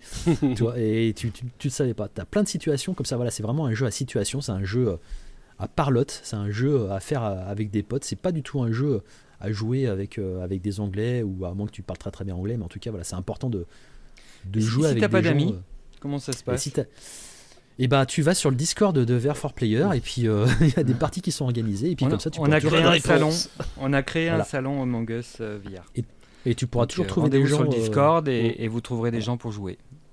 Parce que oui, euh, à préciser aussi, c'est que il faut savoir que c'est quand même un jeu qui, qui attire énormément les jeunes joueurs. Et apparemment, sur les serveurs américains, il y a pas mal de petits cons qui font n'importe quoi. Donc, mm. c'est bien quand même de, de, de, trouver un petit Discord où c'est que vous pouvez retrouver une communauté française de, sur Among Us pour mm. pouvoir en profiter. C'est ça. En tout cas, vraiment, pour 10 balles, tu passes des bonnes soirées avec tes potes, tu te marres. Euh, euh, c'est vraiment top. En tout cas, nous, on a vraiment kiffé. Et puis euh, voilà, je remercie encore hein, tous ceux qui ont participé à la preview. c'était ouais, c'était ouais, vraiment fun. Vraiment des barres de rire. Même quand tu fais rien, même quand tu es dans, le, dans la salle d'attente, il y a moins que tu te, tu, te plies en deux. Quoi. Donc voilà. Bon conseil. Donc je vous conseille. Ouais. Et donc, euh, je suis pressé de pouvoir euh, faire une partie avec toute l'équipe de Ver for Player pour révéler un petit peu les véritables personnalités de tous ces traîtres. Un Laurent, un El Rocco et surtout un Majo et Steph. Ah, ah, Majo, je pense qu'il serait euh, pas mal là-dedans. Majo, ouais. Je le sens tellement pas. dedans. Mmh. Ah non, non. Bonne fouine. on, va, on, va, on va l'entendre, on va l'entendre rire à, des kilomètres. bon, en tout cas, voilà. Euh, moi, je vous conseille. Euh, tiens, et tiens, Sage, je t'ai niqué. Tiens, enculé, suceur de quest. Tu vois, suceur de quest. voilà. Euh, bon, ensuite, on va passer euh, au prochain. Qu'est-ce que. Tiens, Tiger Blade, ça fait longtemps qu'on t'a pas entendu, El Rocco. Enfin, donc. Ah oui, purée. Ikimacho, euh, Studio, oui. Alors que bah, qu'on avait euh, reçu euh, pendant le pod pour parler justement de, de, leur jeu. Yeah. Oh yeah. et qui voilà ça m'avait un petit peu inquiété parce que même je pense que j'étais pas le seul dans, l'équipe compte tenu voilà du bah, du fait que ça soit un jeu low poly que le concept avait l'air d'être plutôt plutôt simpliste, euh, ça faisait très mobile. Et en fait, bah, la grande surprise, le jeu est plutôt bon. Plutôt bon. C'est alors jeu hyper simple, encore un FPS. Euh, où alors la petite histoire, on incarne une. Euh, alors c'est pas une chef de gang, mais c'est elle fait partie d'une d'une triade coréenne. Et euh, elle a une mission, c'est de récupérer un colis. Et dans ce colis, il y a euh, un, tigre blanc qui fait partie d'une espèce euh, extrêmement rare. et c'est un symbole de pouvoir. Et il y a toutes les autres triades coréennes qui vont vouloir absolument le posséder. Voilà, parce que ça va permettre, on va dire, d'assouvir leur domination sur les autres triades.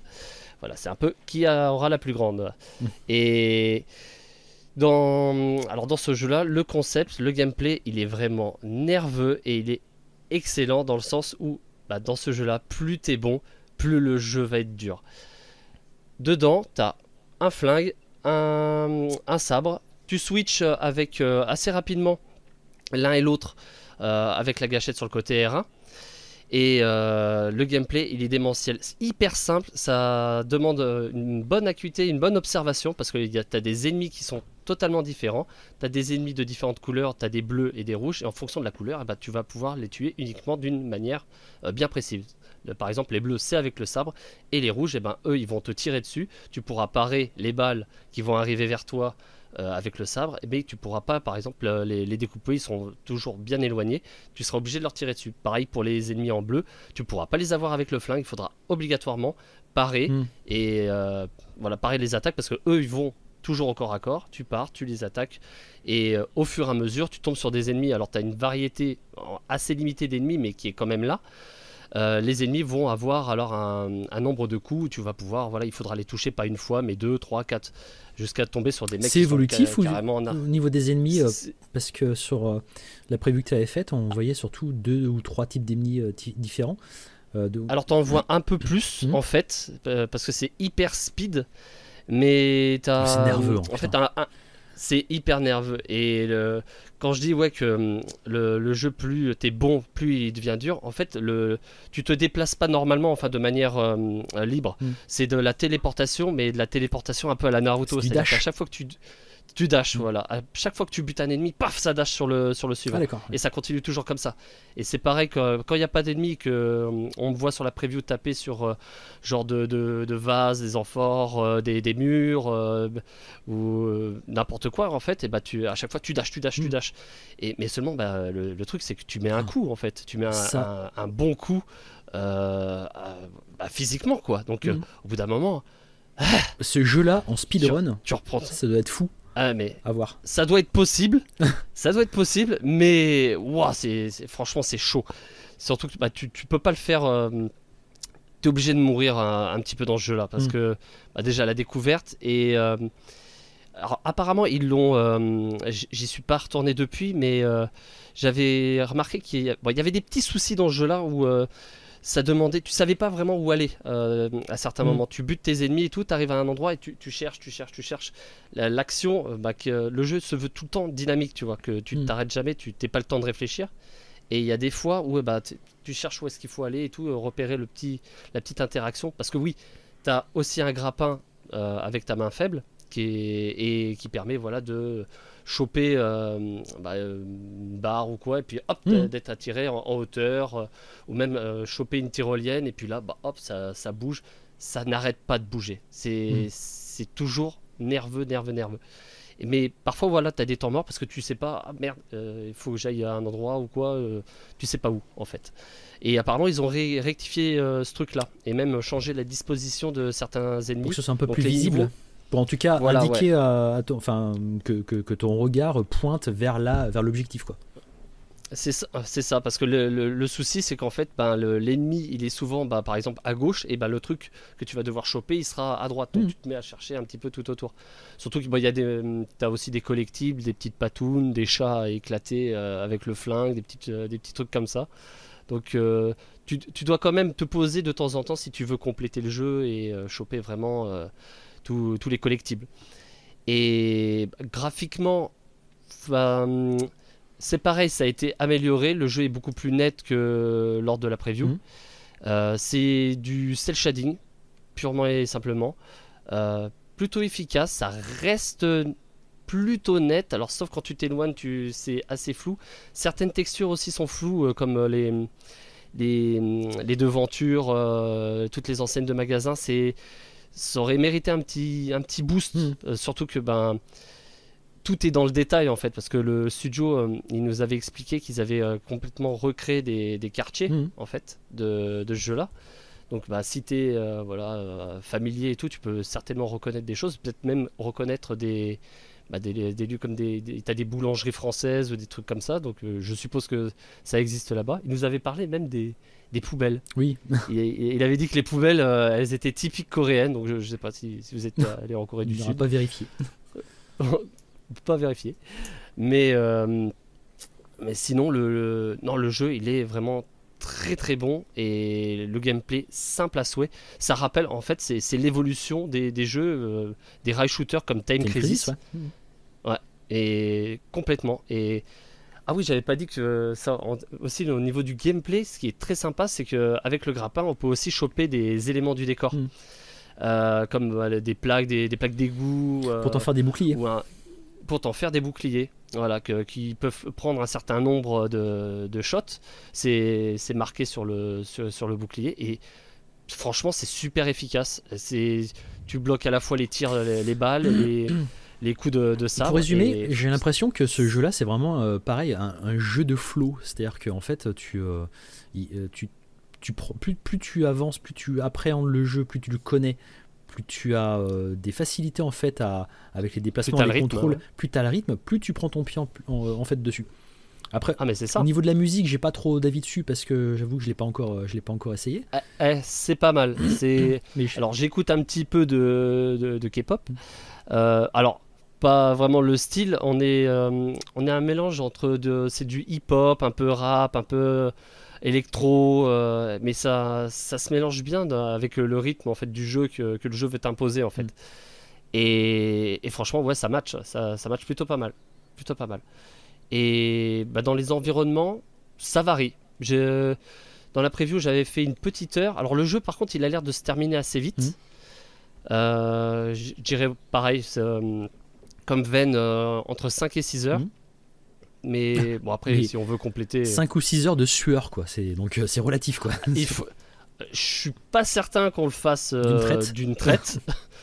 Parce que franchement, arriver, euh, ne serait-ce qu'à la fin de. Même pas à la fin, quand j'avais passé le, premier plateau, où j'expliquais un petit peu le jeu, fou, ça, ça s'accélère très très vite. Hein. Mm. Et les temps de pause sont très très courts. Et euh, oui, et puis à la fin aussi, tu as, des, des combats de boss. Donc euh, pareil, c'est en fait, ouais, c'est comme du Time Crisis. À la fin, tu as un boss qui va te soit te mitrailler la gueule et tout. ben, il va falloir que tu l'enchaînes le plus rapidement possible pour le déstabiliser avec le flingue. Tu peux te protéger, mais franchement, pas longtemps. C'est juste mhm. pour te faire gagner du temps. Donc il y a de la technique, c'est du die and retry. C'est voilà, il y a, y a, un rythme à choper, il y a un rythme à faire, et puis il y a une connaissance parfaite des niveaux pour vraiment pouvoir en, jouir euh, à fond. Hmm. Quoi.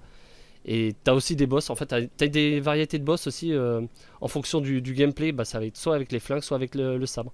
Et le boss avec le sabre, euh, ah, c'est bien dynamique. Hein. Hmm. Tu pars, tu mets, tu pars, tu pars. Es... Faut, faut franchement, c'est à la fois, il faut être nerveux, mais en même temps pas, pas, bourrin. pas foufou. Pas faut, faut regarder, faut bien faire attention les ennemis, comment ils arrivent la, patate qui va te mettre. C'est une gymnastique de l'esprit en fait. Euh. Ah, c'est complètement. Complètement. Et puis te dire, bah voilà, les bleus, c'est comme ça qu'il faut que je les dégomme, les rouges, c'est comme ça. Euh, puis t'as aussi, as aussi des jaunes, où que, eux, ils sont juste là, en fait, pour être chopés. Pour se faire graber et continuer, euh, continuer la progression. Exactement. Mm.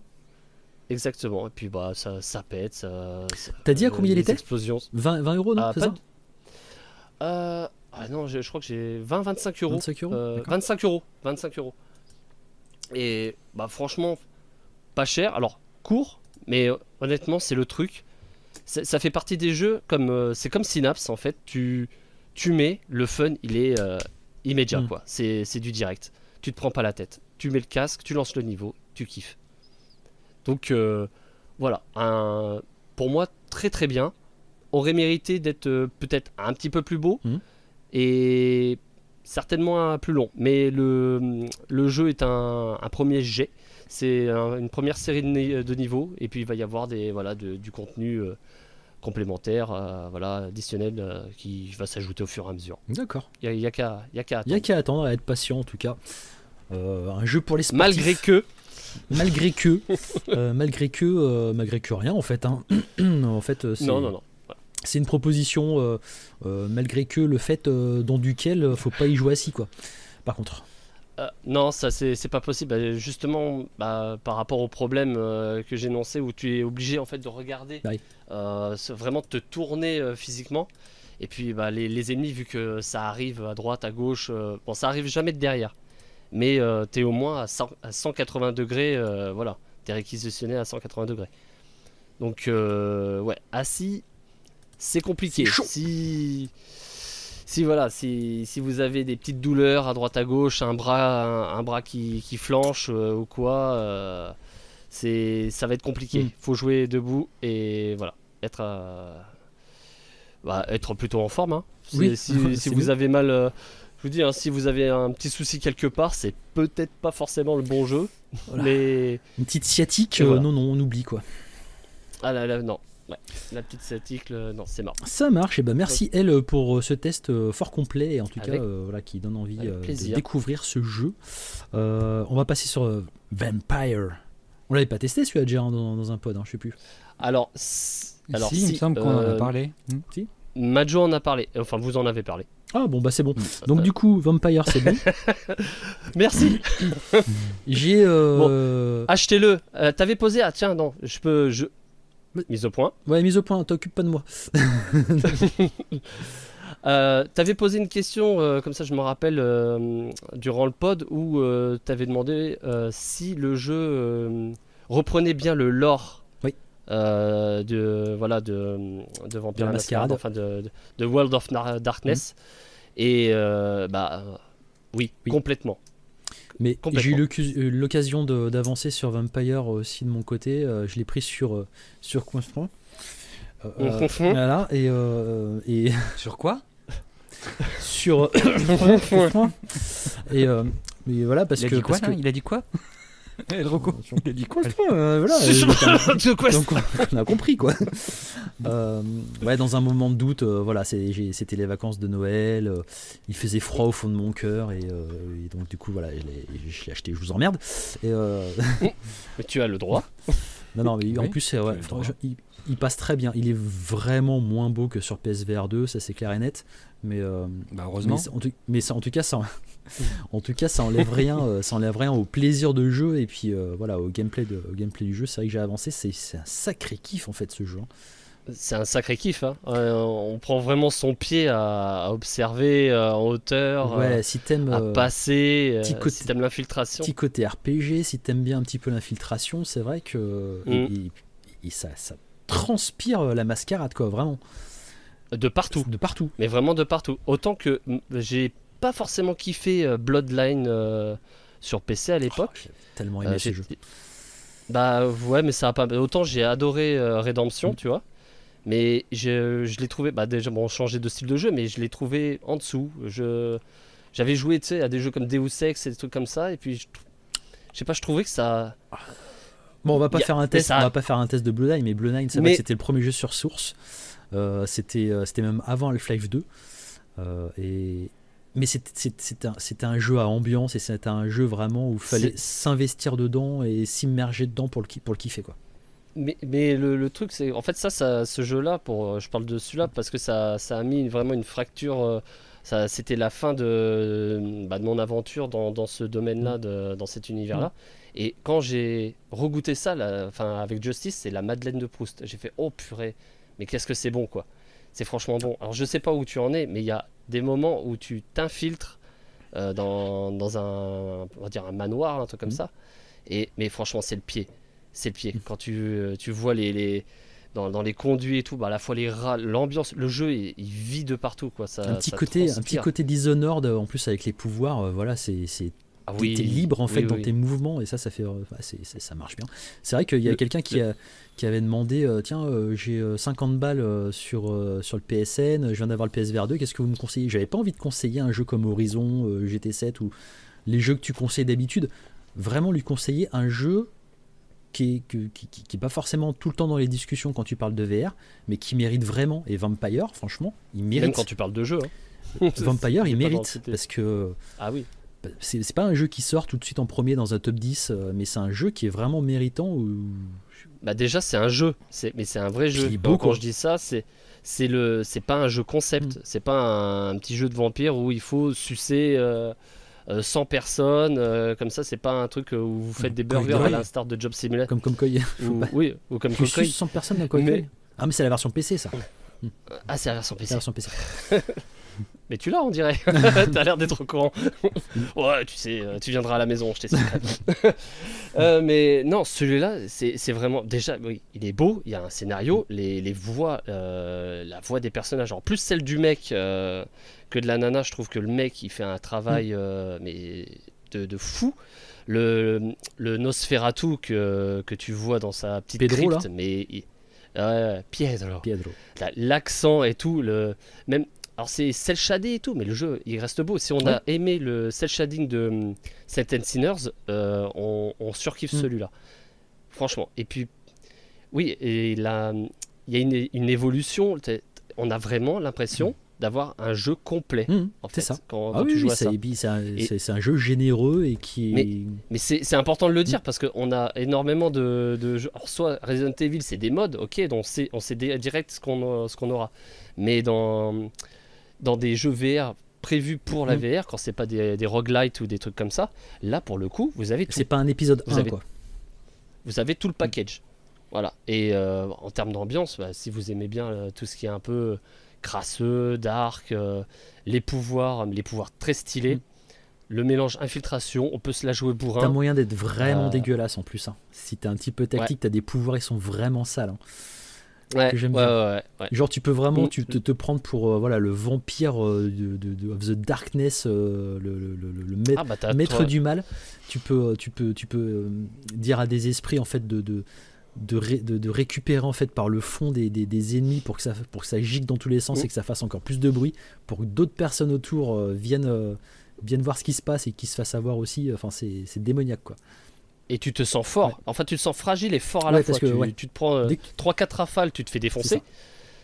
Mais par contre quand c'était à la fois fufu fufu agressif oh la vache mais le pied quoi. Oh le pied t'en mets une ça le stun un petit mm. peu tu vois oh. Et t'en remets une deuxième, mais tu le fais voler. Mais euh, il y en a un, j'ai eu limite un bug, mais il est, parti euh, dans l'atmosphère, quoi. C'était génial. Tout ça pour retomber en plus comme une pierre dans, bah, dans l'eau et tout, avec éclaboussure et tout. Ça, franchement, ça fait plaisir. Ça fait grave plaisir. Bah. tu t'envoies un truc, il se passe quelque mm. chose. T'as as la physique des bouteilles d'Afly Falix. Oui, c'est les liquides à l'intérieur. Euh, le, liquide. Ah, ça, c'est quelque chose qu'on risque de retrouver dans pas mal de jeux, en fait. Eh, mais j'espère. J'ai l'impression j'ai l'impression qu'il y a de plus en plus de développeurs qui, qui, qui, mettent ce genre de. Alix, Seven's Guest, qui l'avait, et euh, du coup, bah, euh, Vampire. Et il euh, n'y avait pas ça non plus dans Propagation? Dans Propagation, je me souviens pas, je crois pas. Hein. Non, dans Propagation, t'as les bouteilles, mais ça se répand le truc. Alors que là, tu vois le liquide dans la bouteille, mais tu la casses, elle se répand pas. Ça fait. Ah, je l'ai vu où alors, Mais par contre, t'as les morceaux. T'as les morceaux de verre. Dans Seven Guest. Je me amusé avec une autre bouteille. Non, Seven Guest. Euh, mais non, c'est dans euh, Red Matter 2. C'est dans Red Matter 2. Ah bon Tu prends les petites fioles. Oui, tu, Il y a tu prends les petites fioles. Les... Mais j'ai pas trouvé la cave hein, là-dedans. non mais c'est l'endroit tu, tu, te rappelles de je vais te le dire c'est le quand t'as la première euh, hein tu reconstitution euh, VR de ce qui s'est passé. Ouais, Tu as une table d'opération, et bah tu as des placards à côté. Et ah, tu as des petites bouteilles et tout. Je, suis pas les fouiller. Mais j'ai senti qu'il y avait de l'agneau dedans, donc euh, j'ai fait au purée. Bon, en tout cas, je suis content qu'on parle, euh, qu'on reparle un petit peu de Vampire parce que c'est un jeu, voilà, comme je disais, hein, dont on parle pas assez, qui revient pas suffisamment dans les discussions, alors que Eh, c'est une, petite anomalie quand même hein, ce jeu. Hein. Il est vraiment. Bah c'est c'est un. Alors je dirais pas, mais c'est une ça fait partie des jeux anomalies comme Alan Wake. Des, des, petits tous les jeux Remedy Alan Wake oui je voulais pas en parler il est dans il est dans nos il est dans nos coups de cœur hein, euh, Justice ouais ah bah t'avais pas le choix t'avais pas le choix Clairement.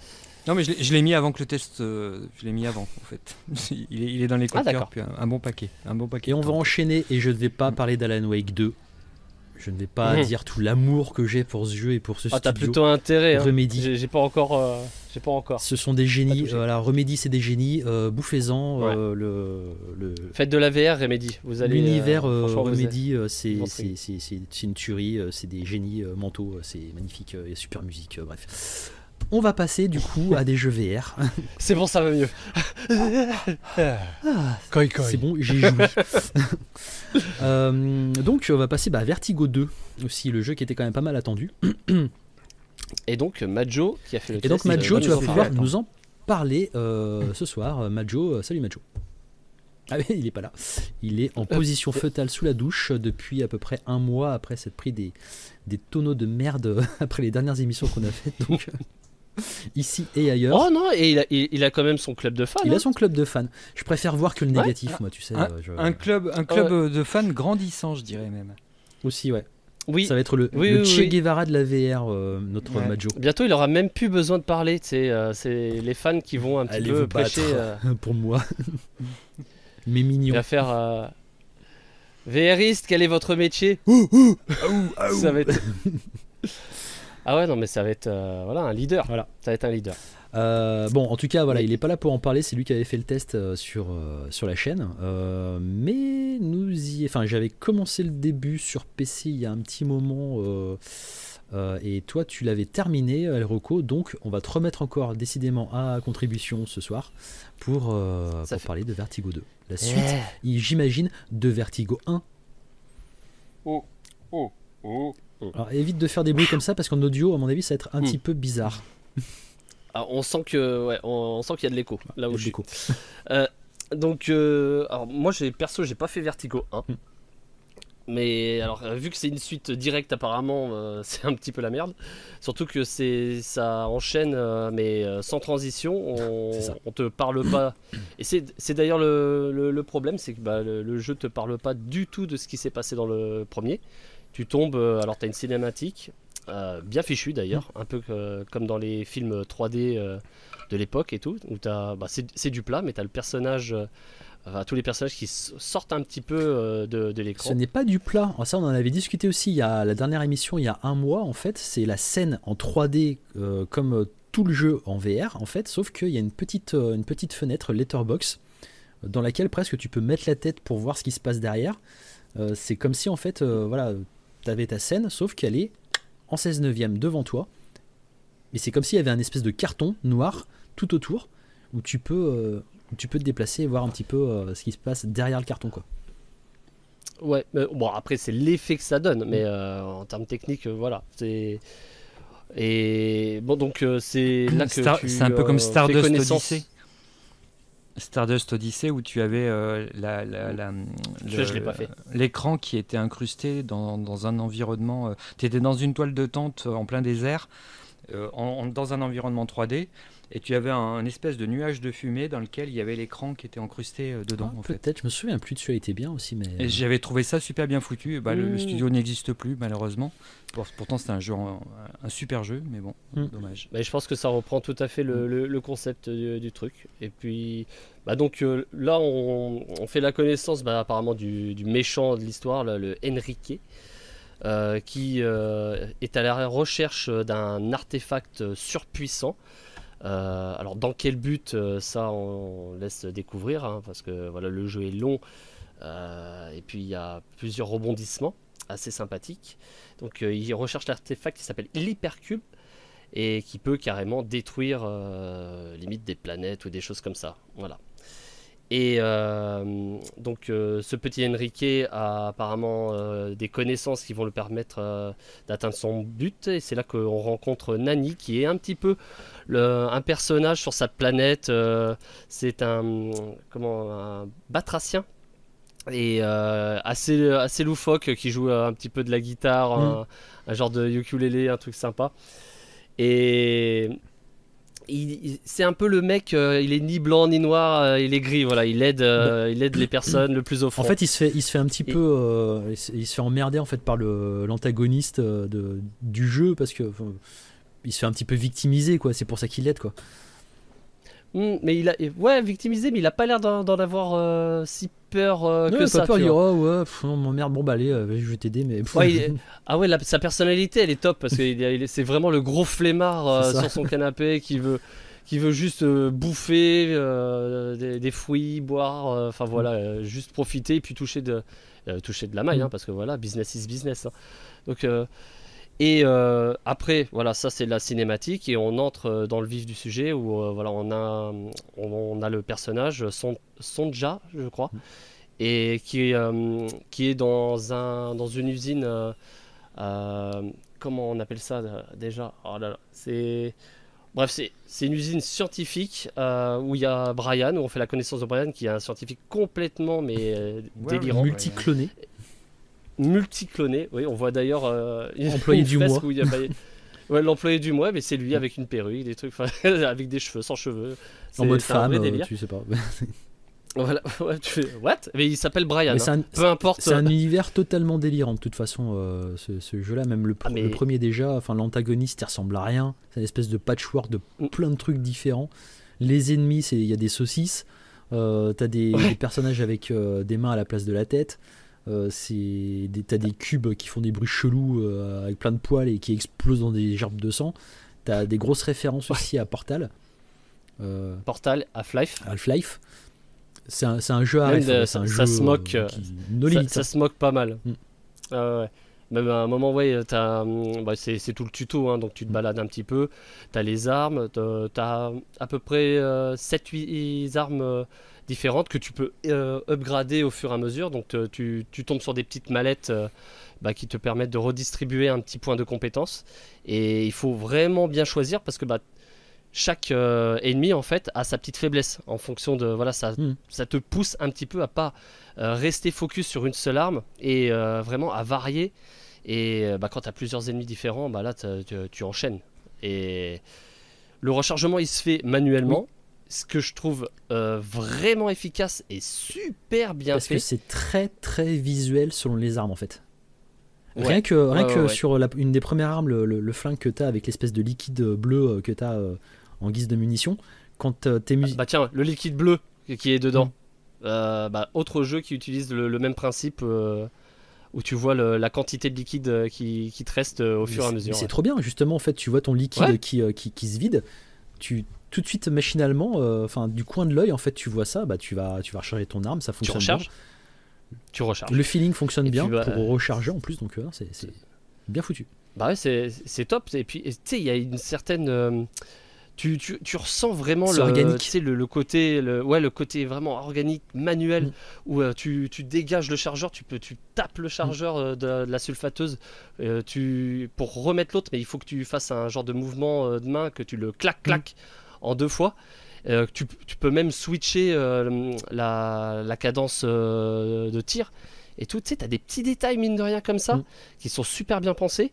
Et même les armes, au fur et à mesure qu'elles évoluent, bah, tu, tu, peux ajouter par exemple un viseur où le, premier flingue et eh ben, peut avoir des balles traçantes. Mm. Tu vois, en, en, loquant, en loguant un ennemi, tu as une petite fenêtre un petit écran où tu, tu vois en direct l'ennemi, et puis il y a un petit son tic qui te dit que l'ennemi a été loqué, tu tires n'importe comment, pouf, toutes les balles, et eh ben, elles vont aller euh, sur l'ennemi. Mhm. C'est vraiment un côté euh, évolution, et chaque arme est vraiment comme ça. Et rien qu'à ce niveau-là, le feeling du jeu, la, la, puissance de tes armes, tu la ressens. Mhm. Tu, tu, fais mal aux ennemis, tu, tu, tu ressens ça. Et en termes d'immersion, c'est top. Euh, les niveaux, t'as une variété de niveaux, mais ah ça part dans tous les sens. Ça, c'est what the fuck est C'est clair. Et tu te dis bon ok, euh, je suis euh, dans, une usine, euh, je suis dans une usine et tout machin, donc t'as des, des trucs assez, voilà, c'est c'est convenu, hein, t'es es un petit peu à domicile, tu t'as des ordinateurs, des trucs comme ça, mais après tu vas te barrer dans des, sur des planètes tu vas traverser les dimensions, tu vas être sur d'autres planètes beaucoup plus désertiques, beaucoup, plus rocheuses. et puis en absence de couleur, tu as, la colorimétrie qui est, vraiment bien utilisée, un peu comme dans Synapse. des effets visuels plutôt sympas. Alors c'est vrai que graphiquement, c'est assez inégal. Techniquement, je trouve ça assez inégal. La direction artistique, je la trouve folle, vraiment. Ça, la, la, DA, elle est folle. N'importe quelle direction, c'est no limite quoi. À mon avis, euh, il y a eu beaucoup de drogue. T'as toujours une surprise. Il y a eu beaucoup de drogue pendant toujours le, une surprise. le développement parce que vraiment, euh, le, gars, à mon avis, avait une idée, il l'a noté, il l'a fait. Ah bah il y, y, a de la drogue hein, c'est du Rick et Morty c'est genre une idée tac on la pose ah mais trop ça trop ça. Pour, même pour se remettre de la vie, hein, tu, te, tu, te, plantes euh, à la Pulp Fiction, quoi. C'est, mhm. t'as, des, des seringues euh, et, tu, et tu envoies, mhm. quoi. Système d'inventaire euh, plutôt bien fichu. tu, tu, tournes le bras gauche et tout, touc. T'as, as toutes les, tous tes objets que tu accumules. bon, un inventaire limité, donc il faut faire des choix, tu peux pas prendre n'importe quoi. Donc tu as des grenades, tu as, des fruits qui te remettent de la vie, tu as les seringues, des grenades fumigènes, euh, explosives, t'as as plein de trucs. Franchement, ce, jeu-là, il est vraiment complet. Généreux. Euh, et très. Bah, même une fois, à un moment donné, je me suis dit, mais quand est-ce que ça va arrêter? Je dirais même trop généreux, quoi. Mhm. Parce que bah, c'est pas un défaut, mais je me dis, waouh, purée, mais ça fait ça fait 6 heures que je joue, mais euh, je, dis à Majo, ouais, j'en suis là, je dois être à la fin. Il fait, non, non, non, non, non, mhm. non, là, t'as fait 30% du jeu. ah ouais. Et même des, je dis rien, mais il y a une partie là, c'est limite euh, comment euh, contemplatif, je hmm. trouve. C'est même si ce sera pas le plus beau jeu, on admire ce qu'on voit. Même on, on est sur un bateau à un moment donné. Hmm. Où il se passe plein de choses et franchement des fois bah, à un moment tu te poses quoi et puis tu, tu fais ah ouais quand même quand même euh, le, le petit Zach il est tout seul le gars euh, comme les mecs de Red Matter 2, ils vous offrent un, jeu. Un spectacle. Mais c'est un spectacle à chaque fois. À chaque fois, tu te dis, je suis là. Et juste après le bateau d'ailleurs, l'endroit, mais il est what the fuck, on n'est pas prêt. Mm. On n'est pas, on n'est pas prêt. Et toujours le, c'est même un niveau où euh, le, le niveau est un peu vivant quoi. Donc il faut faire attention. Il y a des petites projections d'acide, des trucs comme ça. Et il y a de l'interaction rien qu'avec le niveau qui est plutôt sympa. Euh, des personnages. Euh, à la fois organiques et robots, alors qui, qui sont ennemis, ça devient des potes, tu as des choix à faire. Mhm. Dans, ce jeu-là, tu peux euh, donc rejouable. Alors déjà qu'il est hyper long, si en plus tu te retapes le, tout pour voir ce, que, ce qui se passe en faisant le choix euh, différemment, crucial. le choix crucial, tu vois. Et franchement, c'est il, il, est génial. il, est franchement génial. Et vraiment, on ne s'ennuie pas. C'est de bout en bout, on, ne s'ennuie pas. Les musiques aussi. Les musiques, mais euh, il y en a 40, plus de 40. Euh, elles sont top. Franchement, elles sont top. Et le mec, encore, euh, encore une fois, c'est le gars qui l'a fait tout seul. Mhm.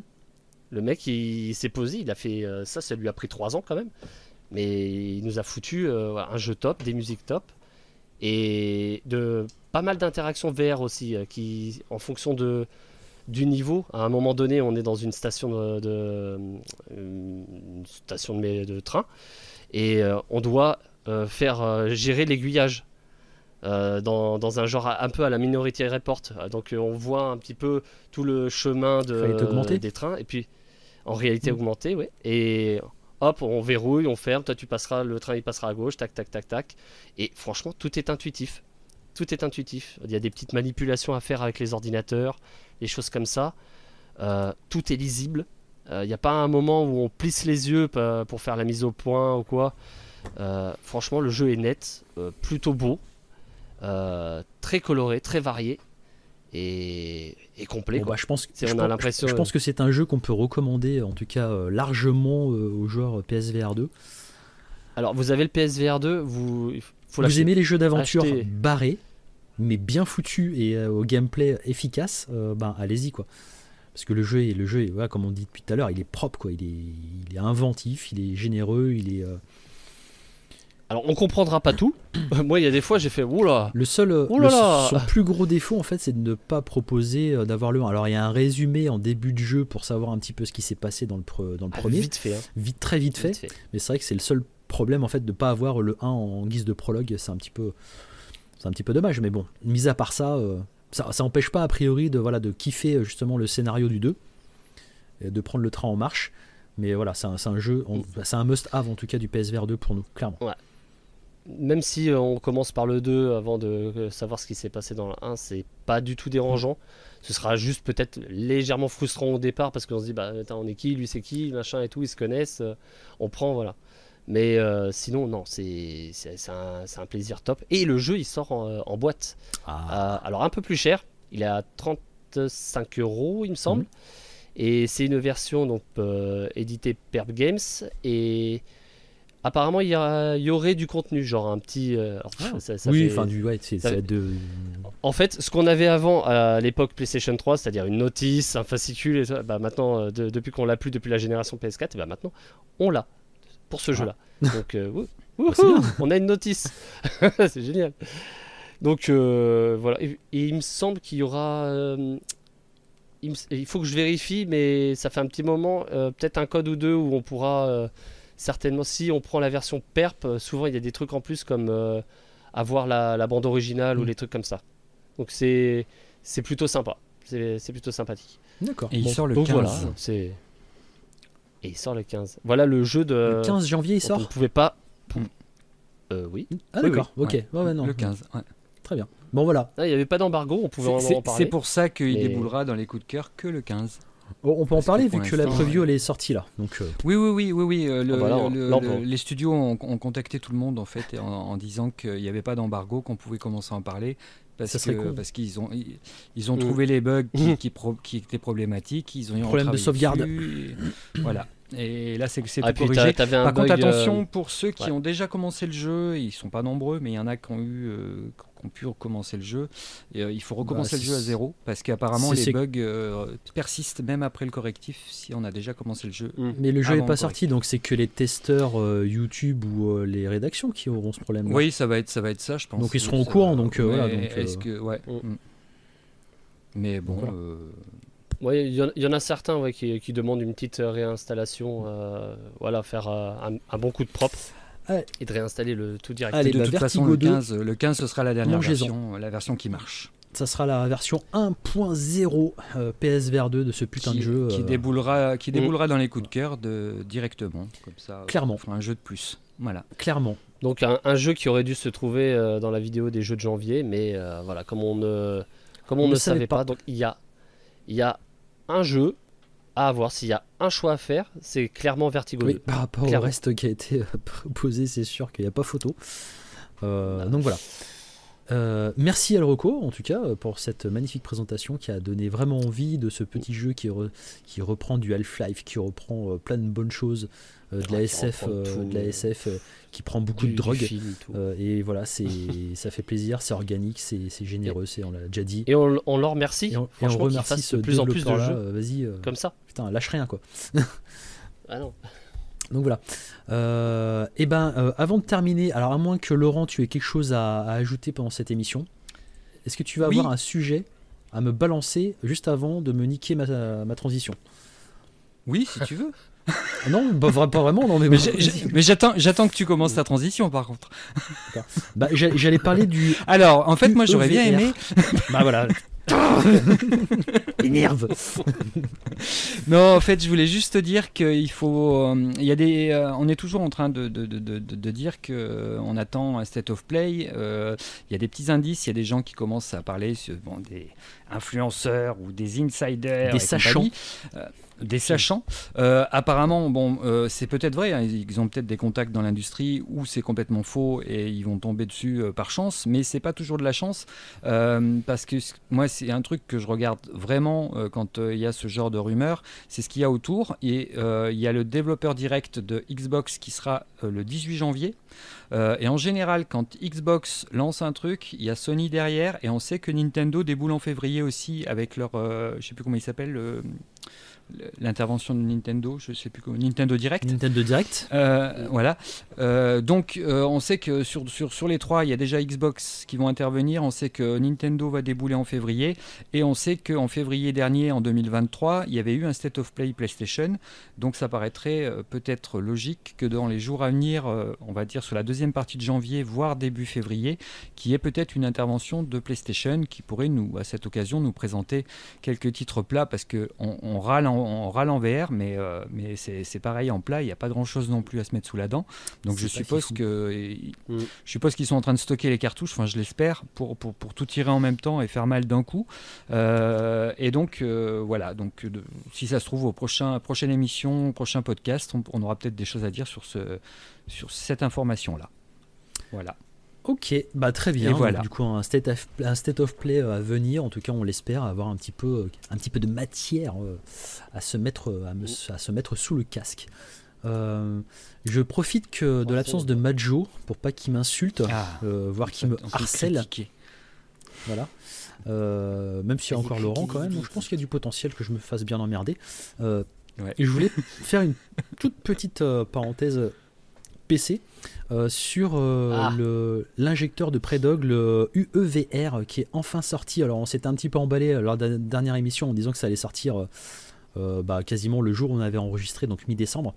En fait, c'est sorti du coup, je crois, le 31 décembre voire le 1er janvier, enfin bref, c'est déjà sorti, c'est déjà disponible, il y a déjà la deuxième version de l'injecteur qui est sortie.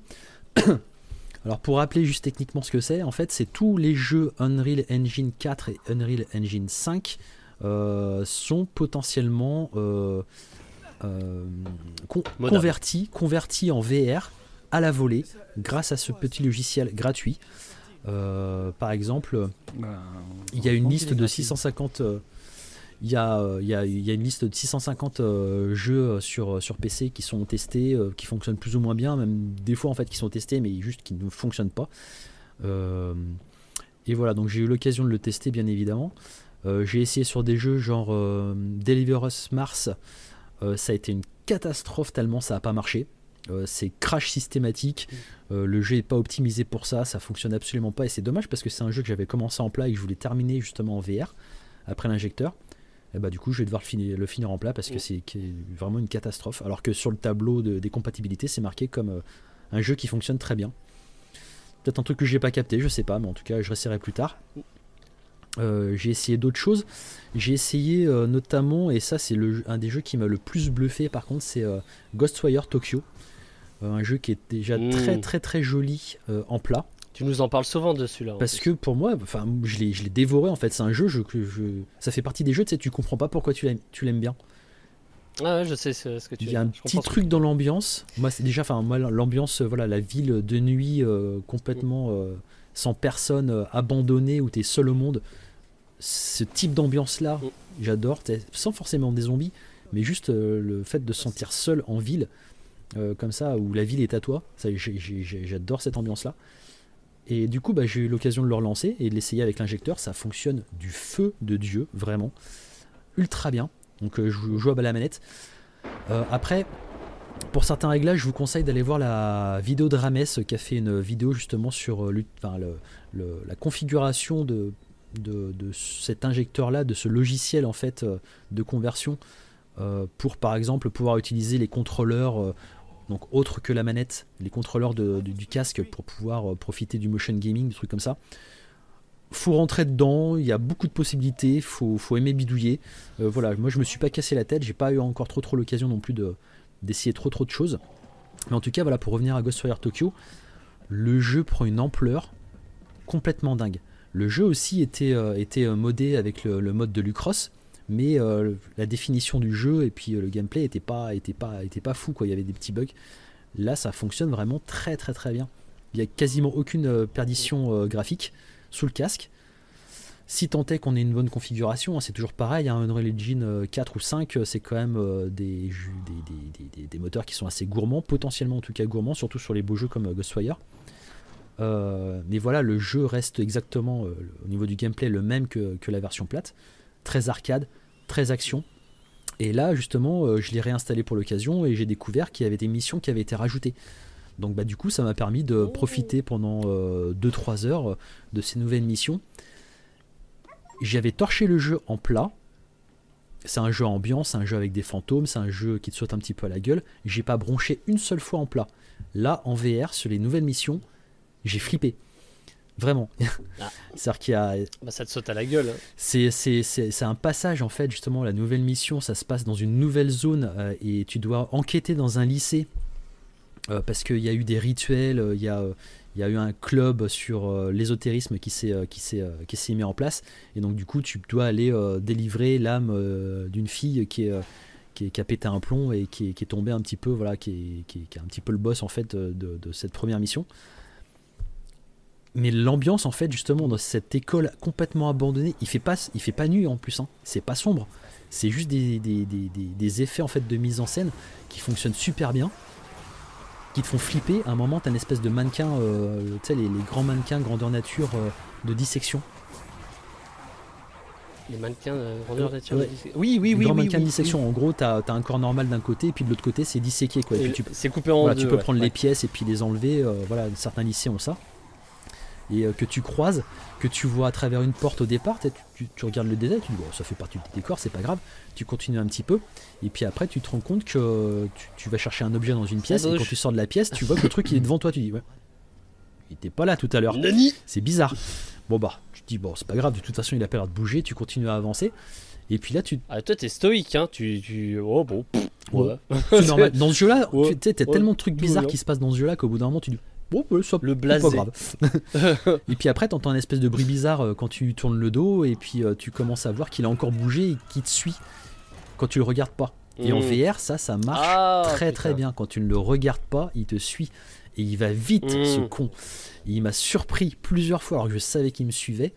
Et était tout le temps comme ça en VR, à te retourner, à regarder où est-ce qu'il est, à essayer de le garder tout le temps dans la trajectoire de ton. Et tu le croyais pas si, aussi proche de toi euh, Il fait un bruit absolument dégueulasse.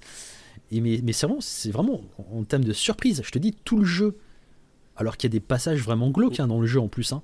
arcade, mais glauque j'ai pas bronché. Là, je, là, je, tu sais, t'as le bout des doigts qui transpire un petit peu. Tu vois, t'as pas envie de te faire choper parce que, parce que, bien mouette. Ça te fout, ça te fout des frissons. Ah, mais, mais, ça, c'est le même euh, délire, enfin le même concept euh, de l'ennemi qui, qui, avance quand tu vois pas que qu'on avait euh, avec Docteur. dans Docteur Who, c'est ça. Dans le DLC aussi de, Resident Evil 8, je crois, avec Rose, où tu avais aussi ce système-là avec des mannequins qui te suivaient quand tu oui, quand étaient hors champ. Et sauf que là, tu vois, bah, je, l'ai découvert en VR, ce, page-là, ce, passage-là. Ça, marche, ça marche trop bien, quoi. C'est vraiment ah bah, euh, super. À la, à, la, fin, le boss, il fait 5 mètres de haut. En VR, tu t'en prends plein la gueule. Le gigantisme du truc, voilà, c'est tu, tu l'as devant toi. Mmh. Toi, tu lèves les yeux pour le voir. C'est, ça fonctionne super bien. donc voilà, ça, ça fait vraiment partie des, claques et d'un jeu que j'ai vraiment apprécié de redécouvrir grâce à cet injecteur. Euh, T'as d'autres jeux euh, avec qui ça fonctionne, euh, que j'ai testouillé un petit peu, ça marche bien. En gros, tu, tu lances ton jeu en plat.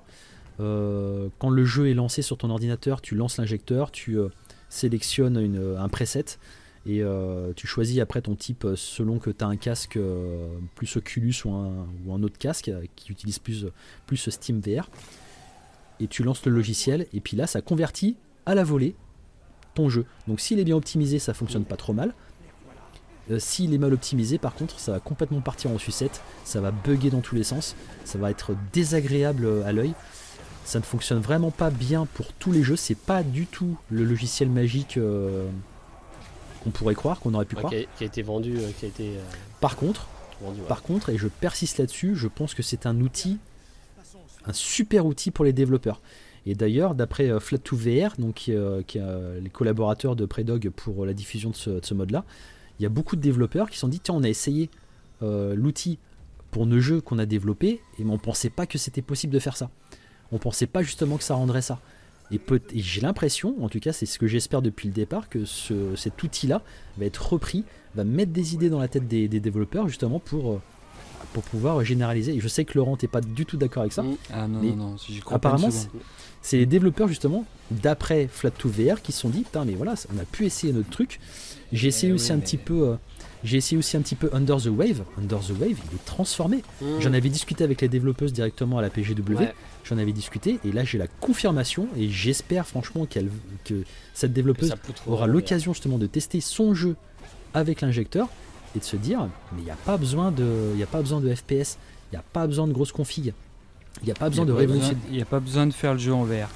Il n'y a pas besoin de révolutionner le gameplay ou n'importe quoi. Non, parce que je te le répète, et ça t'arrives pas à le comprendre, le mode ce n'est pas parfait. L'injecteur, c'est de la bidouille. C'est pas du tout en plus euh, friendly. C'est pas ça. Mais je, voulais, voulais pas repartir dans le débat. je voulais pas repartir dans le débat. Les, studios, ils vont, ils vont, ils vont, ils vont, ils vont le tester. Ils vont dire ah ouais putain, on peut faire ça. Effectivement, ils vont découvrir peut-être des choses d'ailleurs, parce que c'est vrai qu'il y en a qui, bah ne savent même pas ce que c'est que la VR. C'est ça. Euh, après, après, euh, de là euh, à dire que putain, j'ai vu le truc, c'est génial, il faut qu'on le fasse. c'est là où, c'est là où on n'est pas d'accord. Moi, je, moi, je, ils vont essayer, ils vont dire que c'est cool. On sera jamais d'accord. Ils font, ils font rien de plus. On sera jamais d'accord toi, tu pars euh, sur le côté euh, hmm. pessimiste un petit peu de, de, l'affaire. Moi, je pars non, sur le côté optimiste et euh, ouvert d'esprit, justement, de certains développeurs qui ont vraiment envie. Bah, non, toi, tu es, tu es rêveur.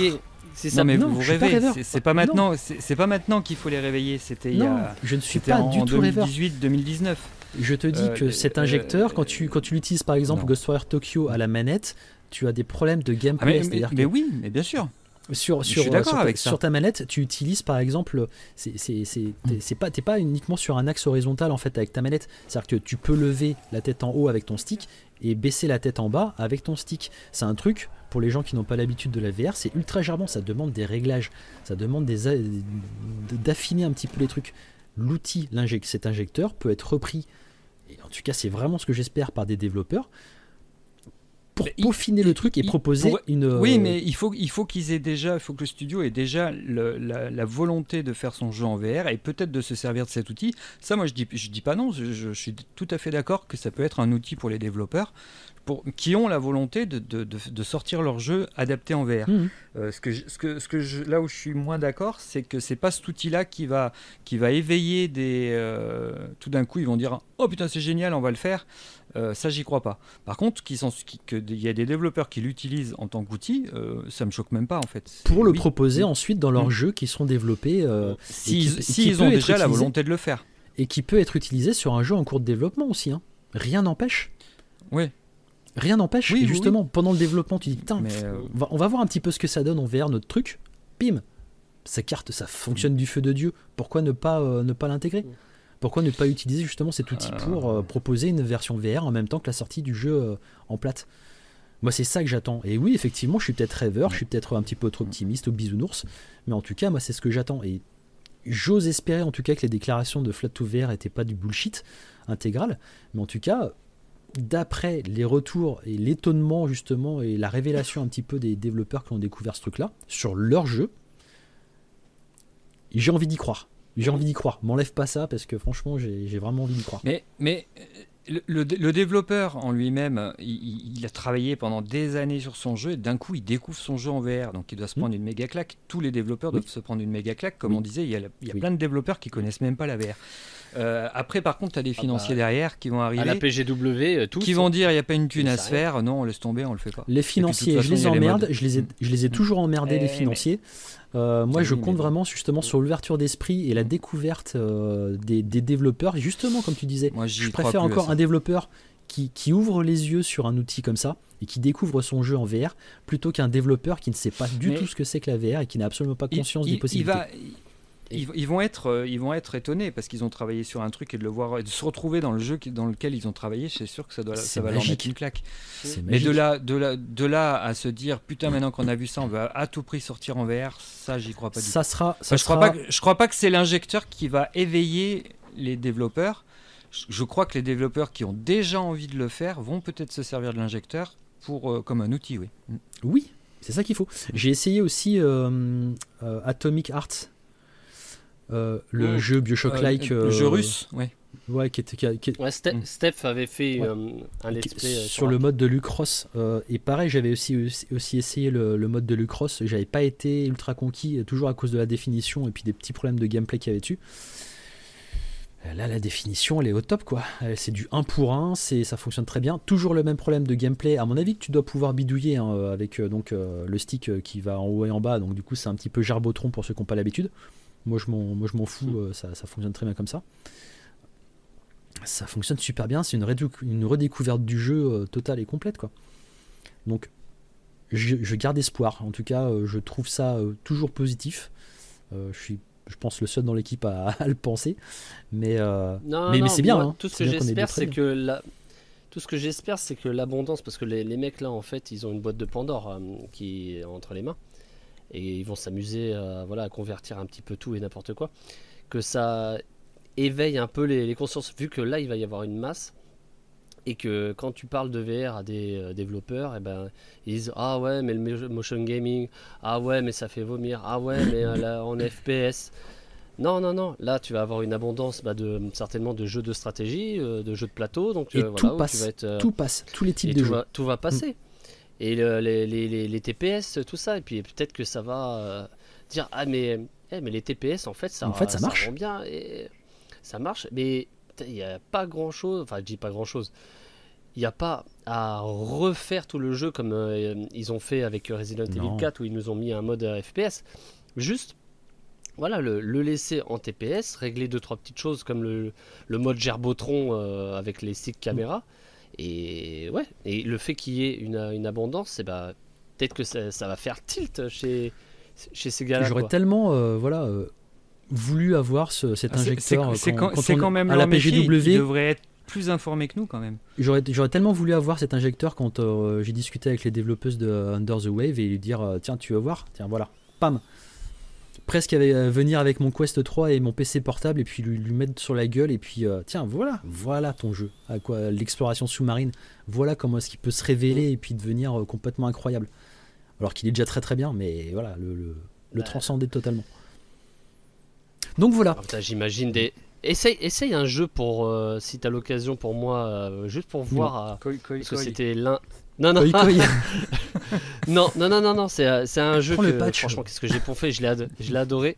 Bon, t'as peut-être un mode 18+, c'est Life is Strange. Ah, oui, mais il était déjà celui-là modé avec le mode de Lucross, mais je l'ai jamais testé en VR. Pour moi, c'est un jeu narratif cinématographique. J'ai jamais testé, je sais pas. Ah, voir je serais curieux de voir comment ça se démerde. Euh, comment ça marche. Et est-ce que ça, est-ce que ça apporte un, ça apporterait un plus? Parce que là, voir. à la prochaine, euh, les, prochaines sorties, euh, les nouveautés de casque VR PC, ah, je vais, je vais surveiller un peu tout ça, voir ce qui, ce qui sera proposé. Je, je, testerai ça du coup et tous les Life is Strange, il me semble, sont, bah, sont sur Unreal Engine et il me semble qu'ils sont compatibles avec l'injecteur aussi. Donc hmm. Bah, je, réinstallerai. À moins que. Ah non, mais attends, je suis con, je l'ai sur PS4, le Life is Strange, le premier. Euh, ouais, sinon, t'as le 2 et puis le hum, True Colors. Ouais, mais ceux-là, je les ai pas. Le 2, j'avais fait la démo. Je peux essayer la démo du 2. À limite. Hum. Ou alors, t'as la, as la démo euh, gratuite. Le premier épisode. Captain, Spirit. De Captain Spirit. De la saison 2, ouais. Oui, voilà. On parle bien On parle de la même chose. ok. Donc voilà, c'était. Ah bah, quand même 2h, 2h15 euh, Ouais, je pense qu'on va arrêter là du coup. je voulais juste faire une petite. Euh, je pense que ça, aurait déçu pas mal de monde si j'avais pas au moins fait une petite virgule sur, euh, sur ce truc-là, quand même, qui est quand même un événement. pour le meilleur ou pour le pire, selon certains, selon certains avis du, du, monde de la VR. Et puis, on, aura l'occasion, je pense, de toute façon, on va pas épiloguer plus que ça pour cette émission-là. On aura l'occasion d'en discuter certainement. Je vais certainement vous casser euh, la tête avec euh, d'autres euh, d'autres essais. tu vas t'en prendre plein la gueule. Oui, bah, j'aime bien. Oh, bah, j'aime bien qu'on me parle mal, moi, de toute façon. Donc voilà. oh oui, je suis un salaud. Ah, arrête, je hein, quand tu dis oh oui, partout. Non, arrête. voilà. Bon, si du coup, je pense qu'on a fait le tour. on vous dit à dans deux semaines et ça, on va s'y tenir parce que voilà, on va reprendre un rythme un petit peu plus régulier maintenant sauf si bon, on verra. Et puis.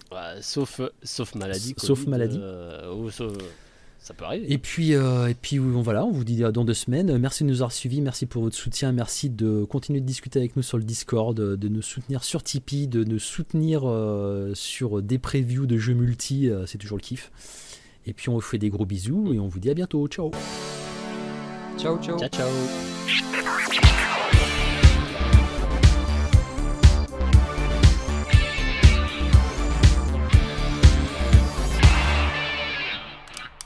Pas la gueule, Laurent, c'est bon là, je t'ai mis, mm. je mis de Non, je, je cherche. Euh, T'as niqué mon week-end. Je cherche la liste des, euh, des le jeux. patch de Koi Koi.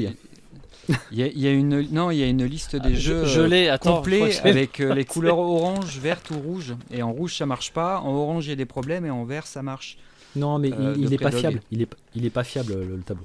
Et les trucs qui sont en vert que j'ai, les trucs euh, en vert que j'ai essayé, ça marche pas du ah. tout. Et je l'avais, je l'avais l'autre fois et je trouve plus le lien.